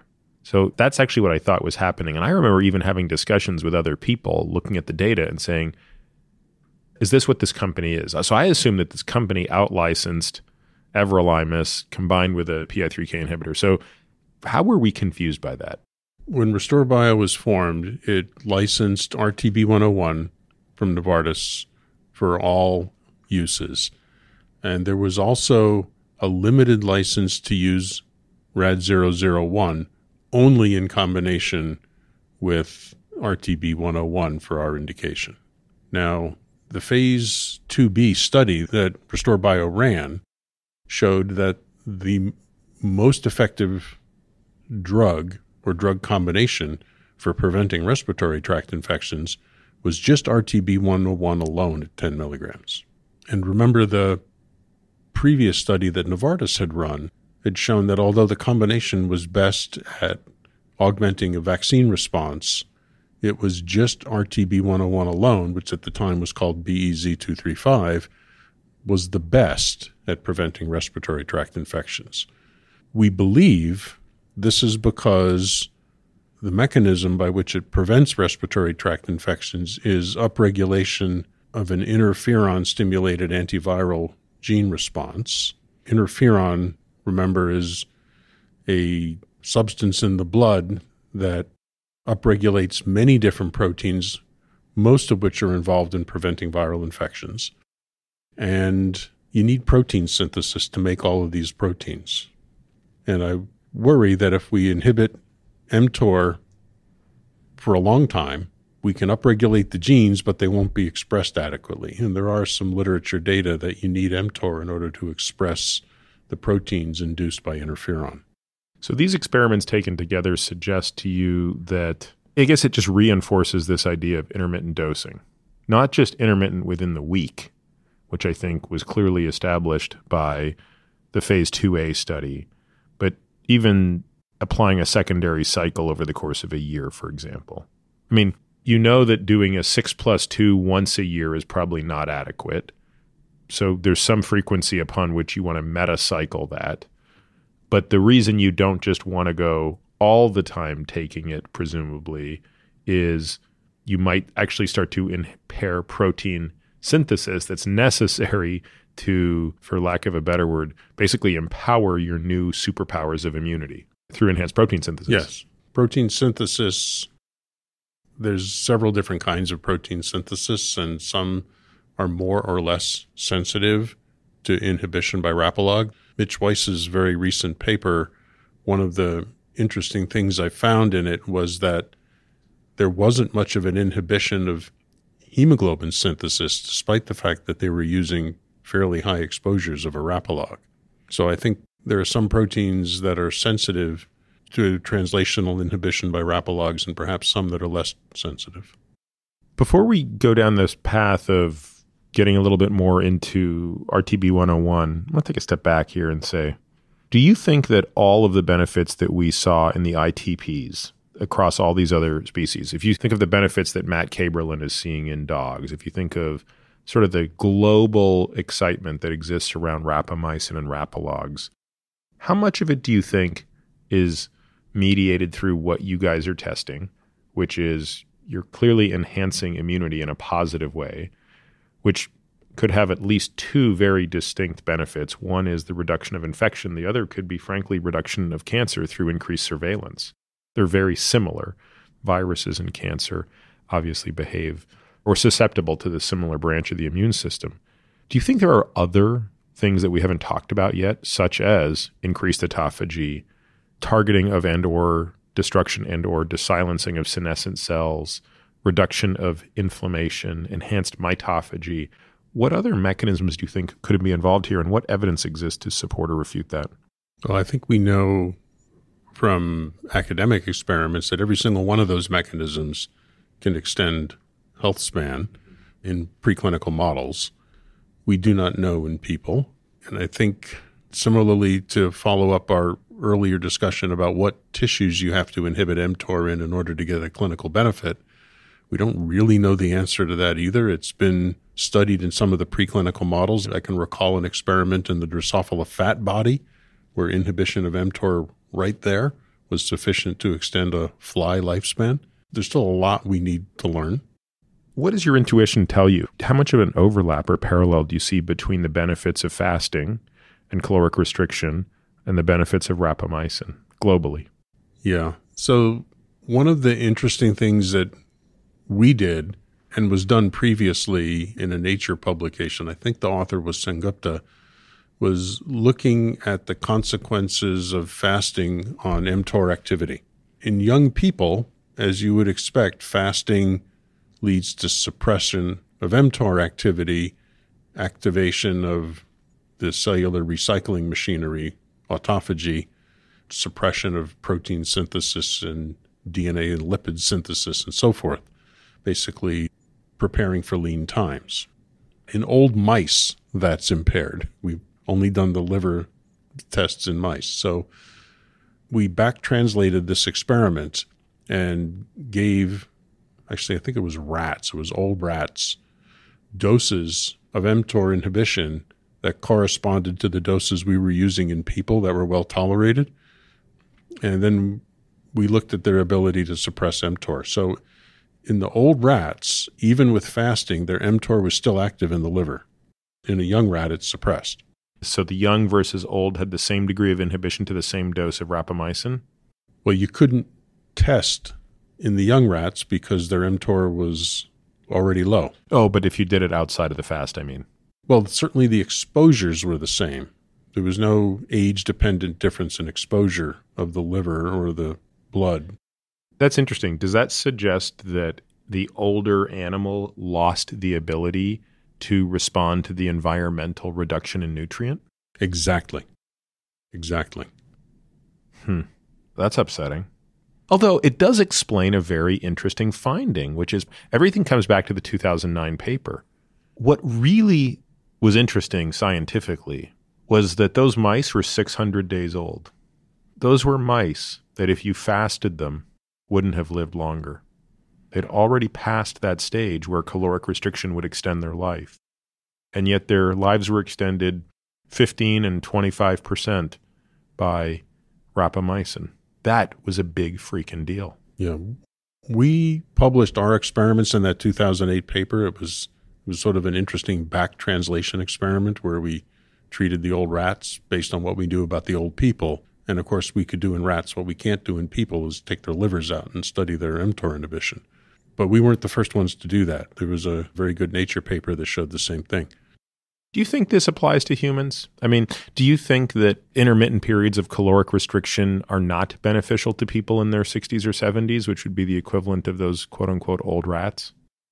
The only thing that our group has been able to try is we looked at whether we could detect mTOR activity as assessed by things like phospho-S6 kinase in the peripheral blood leukocytes of old people, and we couldn't detect activity. We can't answer the question. I think we would need liver samples under fasting conditions. I mean, are you volunteering? Yeah, I'm absolutely volunteering. No, I tell you, there's a lot of things I subject myself to. I'm never excited about the liver biopsy. I just, I think that's the problem of doing a residency in general surgery is you've had one too many calls down to the interventional radiology suite with the patient that you have the recency bias of you only remember all the cases of liver biopsies gone bad. The all those hepatologists that have never had an issue, you don't hear about those cases, but you hear about every one that. Yeah, there's sort of a referral bias. You never see the thousand that go well. Yeah. You only see the one that didn't. Yeah. I don't know. I think at some point I'll probably have to sign up for a liver biopsy. I think there's a lot going on there. There's so many questions I have about the liver, especially no, my own. no liver biopsies. You can get samples other ways, at least for this reason. But it is an interesting open question. And yet another one of these things we don't know is is mTOR suppressed in elderly people with fasting and in which tissues? And by the way, do we know if autophagy is impaired in older folks with fasting?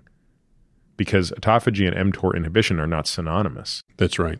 They overlap, but they're not synonymous. Yeah. Well, there's a lot of biology there, and you, it's not only mTOR that can trigger autophagy. There's other mechanisms. There's Beclin 1 mechanisms and so forth. But it's an interesting set of experiments to do with a young group of patients and an old group of patients. And there's a priming effect to this that I just don't, I mean, it's so multifaceted to study all of these things. You think of the infinite combinations you can have, which is what's the effect of RAPA plus fasting when staggered, for example? Does one prime the other? It's hard. You can't really go on fishing expeditions with these questions. You have to be more thoughtful in your hypothesis generation. There's just too many variables. That's right. There's too many ways to be fooled. That's right. So, what can you tell us now about RTB 101? What has been published on this? In other words, I don't think we can speak about obviously anything that's not published at this point, or at least hasn't been publicly signaled. What's next for this compound? So, the excitement is in the phase 2A study that Novartis ran, we saw decreased respiratory tract infections in elderly people treated with it. In the phase 2b study that resTORbio ran, again, the same dose, 10 milligrams once a day, saw the same thing a decrease in respiratory tract infections. Now, that study was a complicated study. And did it also have an RTB 101 plus RAD 001 arm? It did. And there was not a decrease in respiratory tract infections there. But there was an increase in immunity? Or was that that was a secondary outcome? That was assessed, but it hasn't been talked about yet. The cool thing about the 2018 paper that was published from the Novartis study is that because we saw a decrease in respiratory tract infections, but we did not see an increase in vaccine response, it told us that the mechanism for the decrease in respiratory tract infections had to be something different. And we had collected some samples for exploratory profiling we learned that there was an upregulation of antiviral gene expression in peripheral blood leukocytes. So, a set of interferon stimulated genes responsible for antiviral activities was upregulated. So, we identified a candidate mechanism, and it makes a lot of sense. So, to put that in English, it's not that the response was mediated by better recognition of viruses. It was mediated by more efficient targeting of and or disposing of viruses. Perhaps another way to say it is that the vaccine response we were measuring as the primary endpoint was a lymphocyte acquired immunity measurement. So, in other words, you're immune to flu because you've been vaccinated. If you've been vaccinated for rabies, you're immune to that. I've never been vaccinated for rabies. I'm not immune to rabies. In contrast, there's something called innate immunity, which is the immunity of our species. This is an immunity that was developed because we have all co evolved with our pathogens And those of us who are here, Yeah, this is why the LPS on strep is you don't need to be vaccinated to recognize it. exactly. So there are many, many, many, many other things that we can recognize, elements of pathogens. So we can mount an effective immune response. And we're born with this. We don't have to be immunized for it. And this part of the immune system is what mTOR inhibition can also activate. Yeah, which is to go back to historical, that's not what we care about in transplant. No, Because in transplant, you certainly didn't, we didn't evolve to reject kidneys. We evolved to accept our kidneys. Therefore, we reject someone else's kidney. That's Uh, MHC right, based. Yeah. Right. Although blood type matching of your organ transplants is for Well, that's true. And now they're doing so many ABO incompatibles that it's, I mean, the immunology involved in organ transplantation today is remarkable. a subject for another time. I know. And all started at your alma mater. That was the Nobel Prize right there, right? That's right. Dr. Murray. So, is there anything else you can tell us? Because this is obviously something like, have you guys spoken about what the phase three is going to look like? Yeah. Well, we're almost halfway through. Halfway through enrollment. We enrolled the first phase three study fully and getting ready to start the second. So, tell us about the first one. Yeah. So, well, let's do a little more on the phase 2B because that study answered several questions in one study. We enrolled patients with pre specified comorbidities and pre specified an analysis of them independently. We did doses, we did five milligrams and 10 milligrams. We did a different schedule. We did 10 twice a day, and we did a combination with a Rapalog, our RAD 001 with the primary endpoint of decreased respiratory tract infections. We also extended the dosing period to cover a winter cold and flu season, so now we're dosing 16 weeks Uninterrupted? uninterrupted. Okay. Although, with the once a day dosing, which is where we saw efficacy, we're only inhibiting mTOR partially for part of the day. By the way, if you had to speculate, going back to the very, very first, the 2A with RAD 0001, if you had taken all four of those groups and measured them at the end of six weeks and then after the two week washout, what's your prediction as to how they would have differed? I'm sorry, because we didn't vaccinate until if, if we vaccinated at six weeks versus vaccinated at eight weeks. Correct. And you did comparison. In other words, I'm asking on drug versus off drug. How much? I know why you had the washout, is it also possible that on drug you would have the same immune response? Yes, on the low doses, on the high doses, I'll bet we wouldn't have. And do you define high as 5 and 20? High is 20. Yeah. Okay, got it. So you think the 5 and the 0.5 still would have had benefit on drug. 20 probably got a benefit. In fact, that might explain the question I asked, which is why did they still at least have one good strain response? It could have been that the two weeks off gave them recovery. Could be. So back to resTORbio, we figured it. And then the other element to the study is we ran it in two different cold and flu seasons, one in the southern hemisphere, one in the northern hemisphere. 652 patients in the study because we answered a lot of questions. We found that some patient populations responded well, over 85 patients, and patients with asthma. Patients with diabetes also responded. Patients who were smokers or had COPD did not. There are some preclinical data that provides a, a mechanism for why this is the case, in the sense that it's a different mechanism for airway inflammation in smoking and COPD, and it's exacerbated by mTOR inhibition. Oh, so I thought it was going to be a different way of antigen presentation or something. I don't think so. Okay.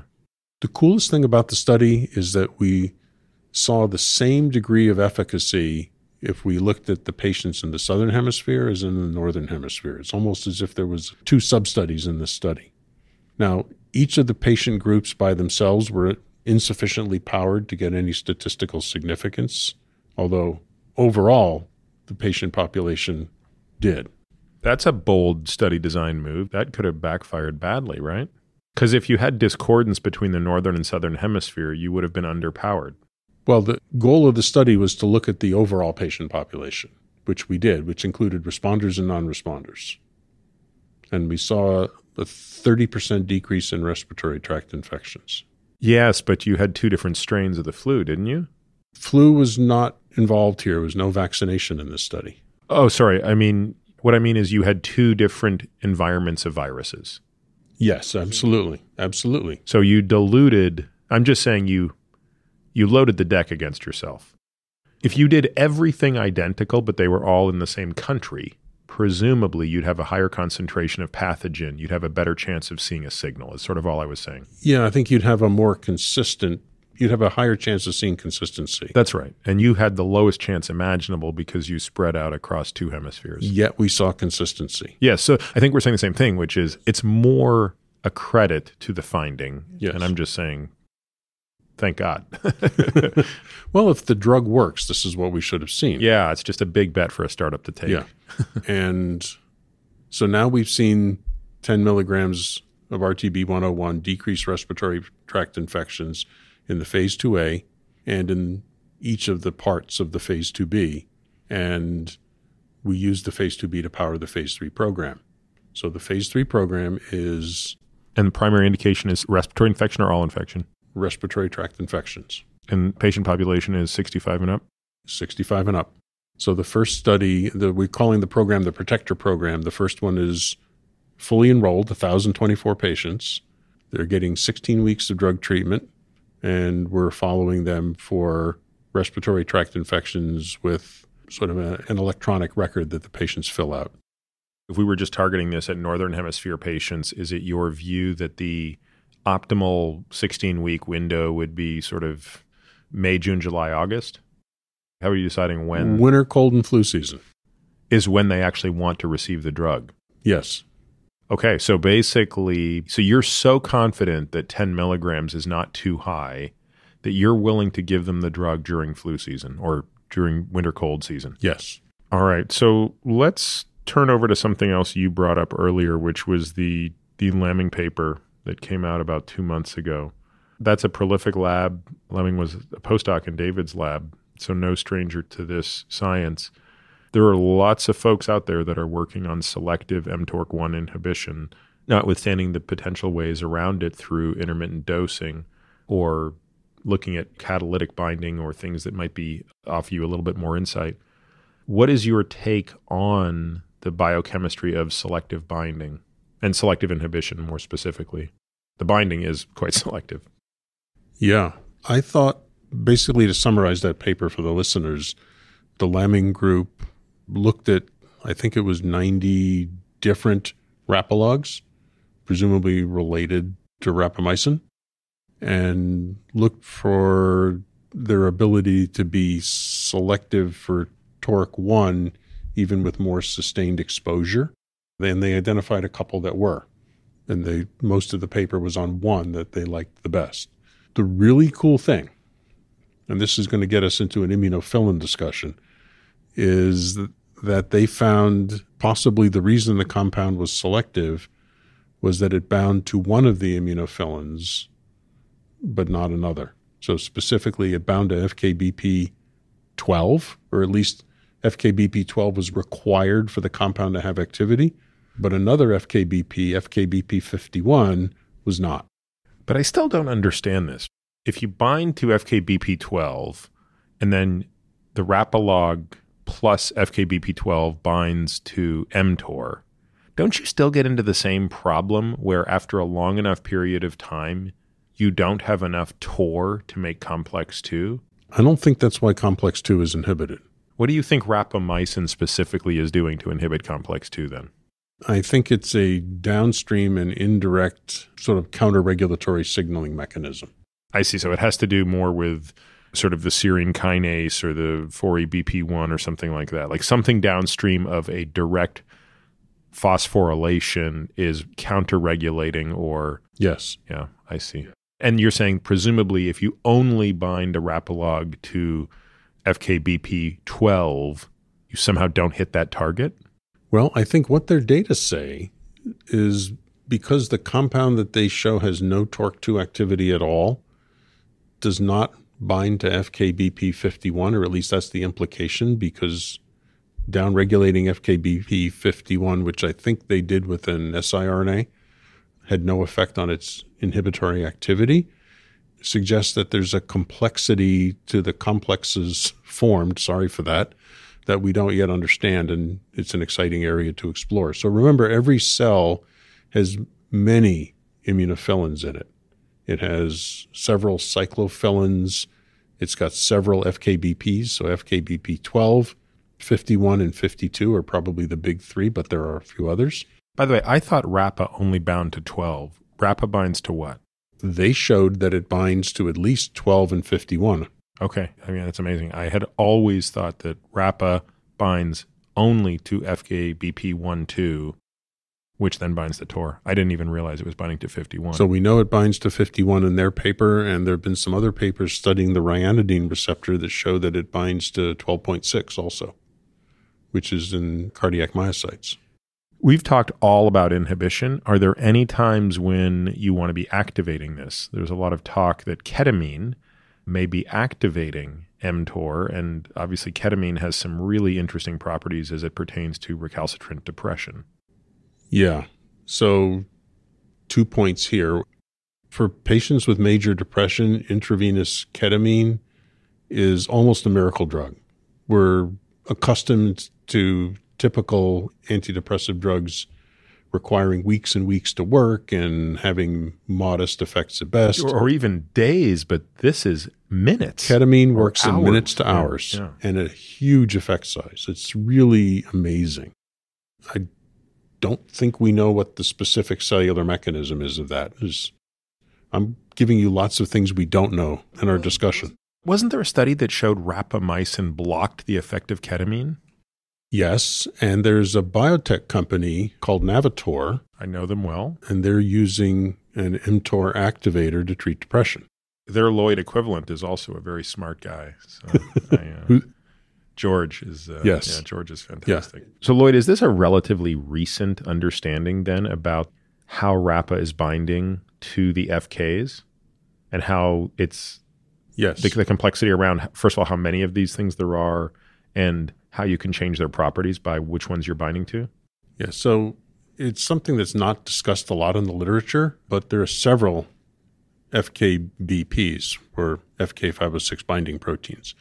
We almost always talk about FKBP12, and it's sort of a shorthand. But the understanding has been that rapamycin binds to all of them. In a few specific cases, that's been shown to be true. There's also a bunch of other activities for and roles for FKBPs that aren't at all part of TORC 1 biology. For example, they all have an enzymatic activity. They're peptidyl prolyl isomerases. But what the biology of that is remains pretty much unclear. It's a very interesting enzymatic activity. It's involved in protein folding, but there have been some studies where maybe a dozen different of these immunophilins are completely eliminated at the same time from cells. There was no clear cellular phenotype.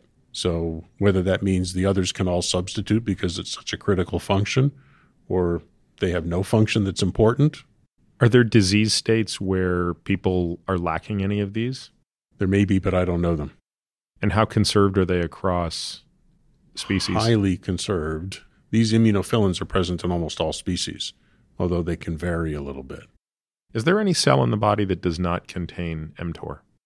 I would bet some of the terminally differentiated anucleate cells may not. Red blood cells, for example, do. Certainly, red blood cell precursors do. hmm I was thinking about platelets, for example. I don't know if they have mTOR. Yeah, yeah, interesting. And I bet that's known. It's just I don't know the answer, and, and I feel better that you don't. So now, We need to make a list of David Sabatini questions. well, I'll make sure David listens to this, and you know what? Maybe we'll do an AMA with David specifically on TOR. So, last thing I want to chat about because it, the paper came out kind of recently was this sort of interesting paper. It's interesting not in the sense of the intervention because it was an N of nine, and it was a very poorly controlled study in the sense that there was no placebo group, and every patient actually was on their own sort of tailored cocktail of three different drugs or two hormones and a drug. But the paper did get a lot of press because it used an epigenetic clock. Are you familiar with these clocks? Yes, yeah, this is Horvath's work, right? Yeah, yeah. Horvath's probably the best of these clocks. Maybe it's just a little bonus episode. Tell folks how these things work, what they're measuring. We've already talked a little bit about methylation, so maybe we put a bow on this by discussing that. So I forget how many years ago it was now, but wasn't that many that we learned from Horvath and others that by looking at the methylation pattern on peripheral blood leukocyte DNA, we can tell how old you are within about six months to a year. And this has been replicated by several groups. So we're all familiar with DNA and And that's even true among centenarians and people that are just genetically blessed to live longer. Excellent question. The studies that I've seen, and actually the one that we participated in, I don't think we had people over 80. Mm-hmm. Okay. I don't know the answer to that. But for people between about 20 and 80, there's a stereotypical change in methylation patterns on DNA. And this is just a chemical change to DNA that happens over time that's quite characteristic of your chronologic age. This is the what David Sinclair talks about as sort of the scratching of the CD. the CD being the master copy of your genomic. Yeah, I guess we have to say something like that because we can't use wearing out of the vinyl anymore. But I think about it a little differently. I think about aging fundamentally as a biologic process controlled by pathways, and presumably it's a consequence of changes in gene expression. And this methylation changes gene expression. So it's a pretty cool story. And certainly we know that if you take a differentiated cell and treat it with a set of transcription factors called the Yamanaka factors, you can reset the cell back to a pluripotent stem cell and the methylation goes away too. So I'm thinking that DNA methylation likely could be causally related to the expression gene expression changes that not only are associated with aging but may cause aging. So, has anybody looked at the effect on the Horvath clock or DNA methylation in response to the rapalogs we've been discussing today? I'm thinking of one experiment, but I don't know that it's published yet. And I think the answer was negative. So it's interesting because the paper that I was talking about, again, there are 10 ways to Sunday. This could just be an outlier, especially without a control group. I mean, it's really difficult to make any conclusion.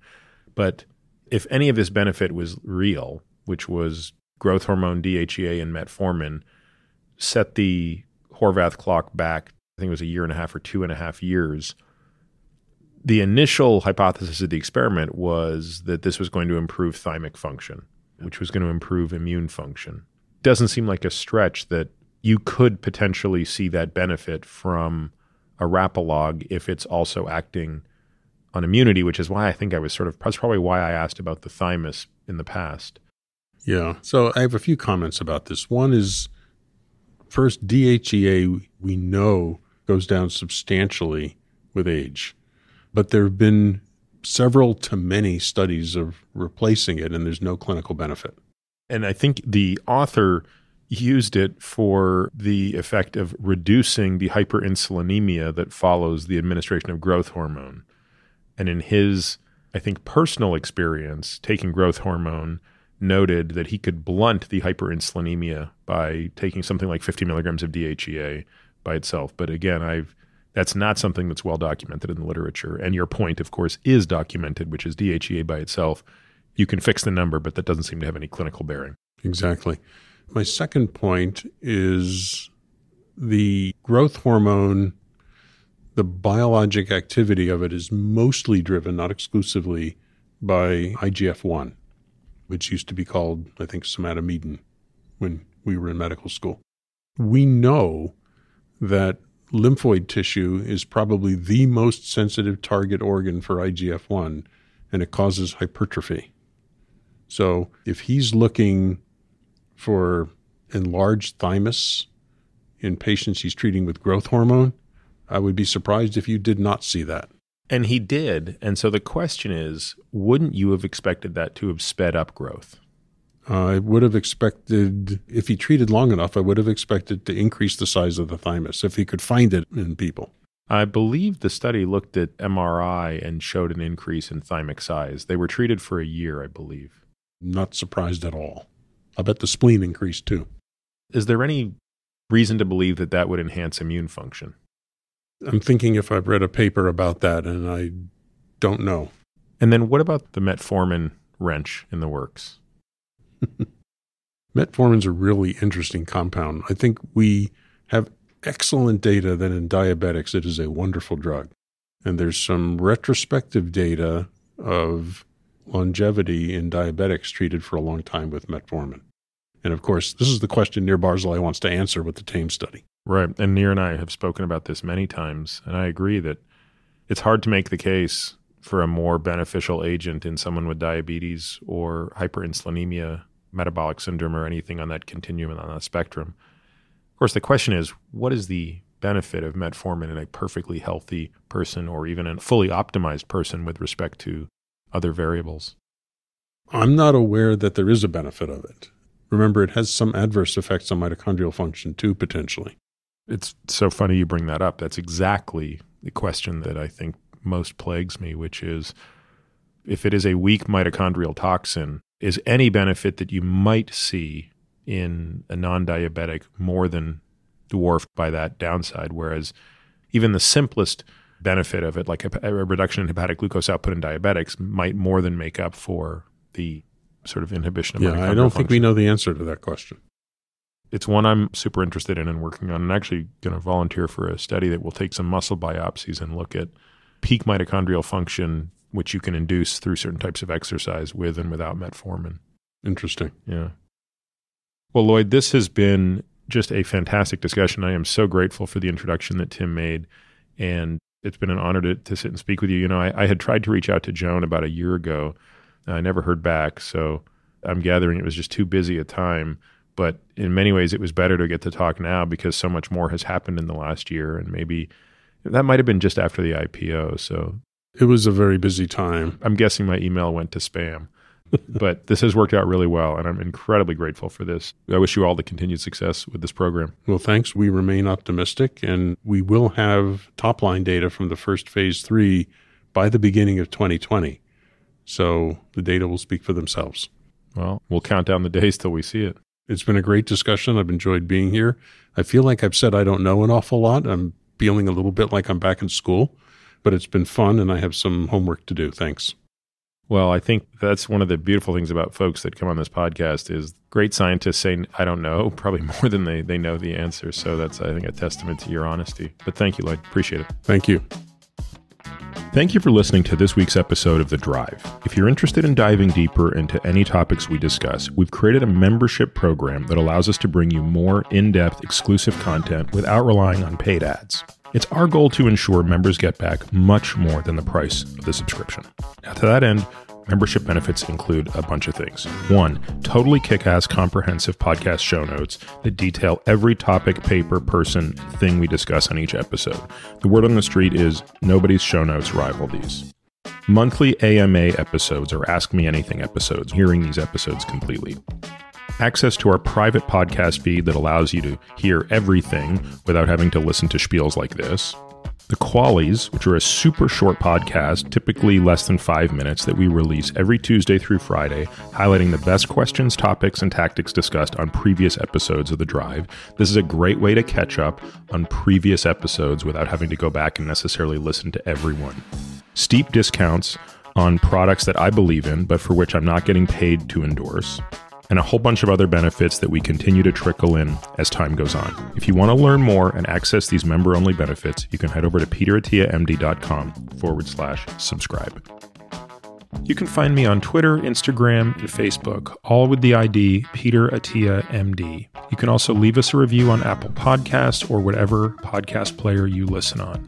This podcast is for general informational purposes only and does not constitute the practice of medicine, nursing, or other professional healthcare services, including the giving of medical advice.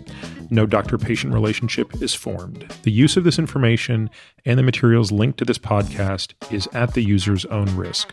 The content on this podcast is not intended to be a substitute for professional medical advice, diagnosis, or treatment. Users should not disregard or delay in obtaining medical advice from any medical condition they have, and they should seek the assistance of their healthcare professionals for any such conditions.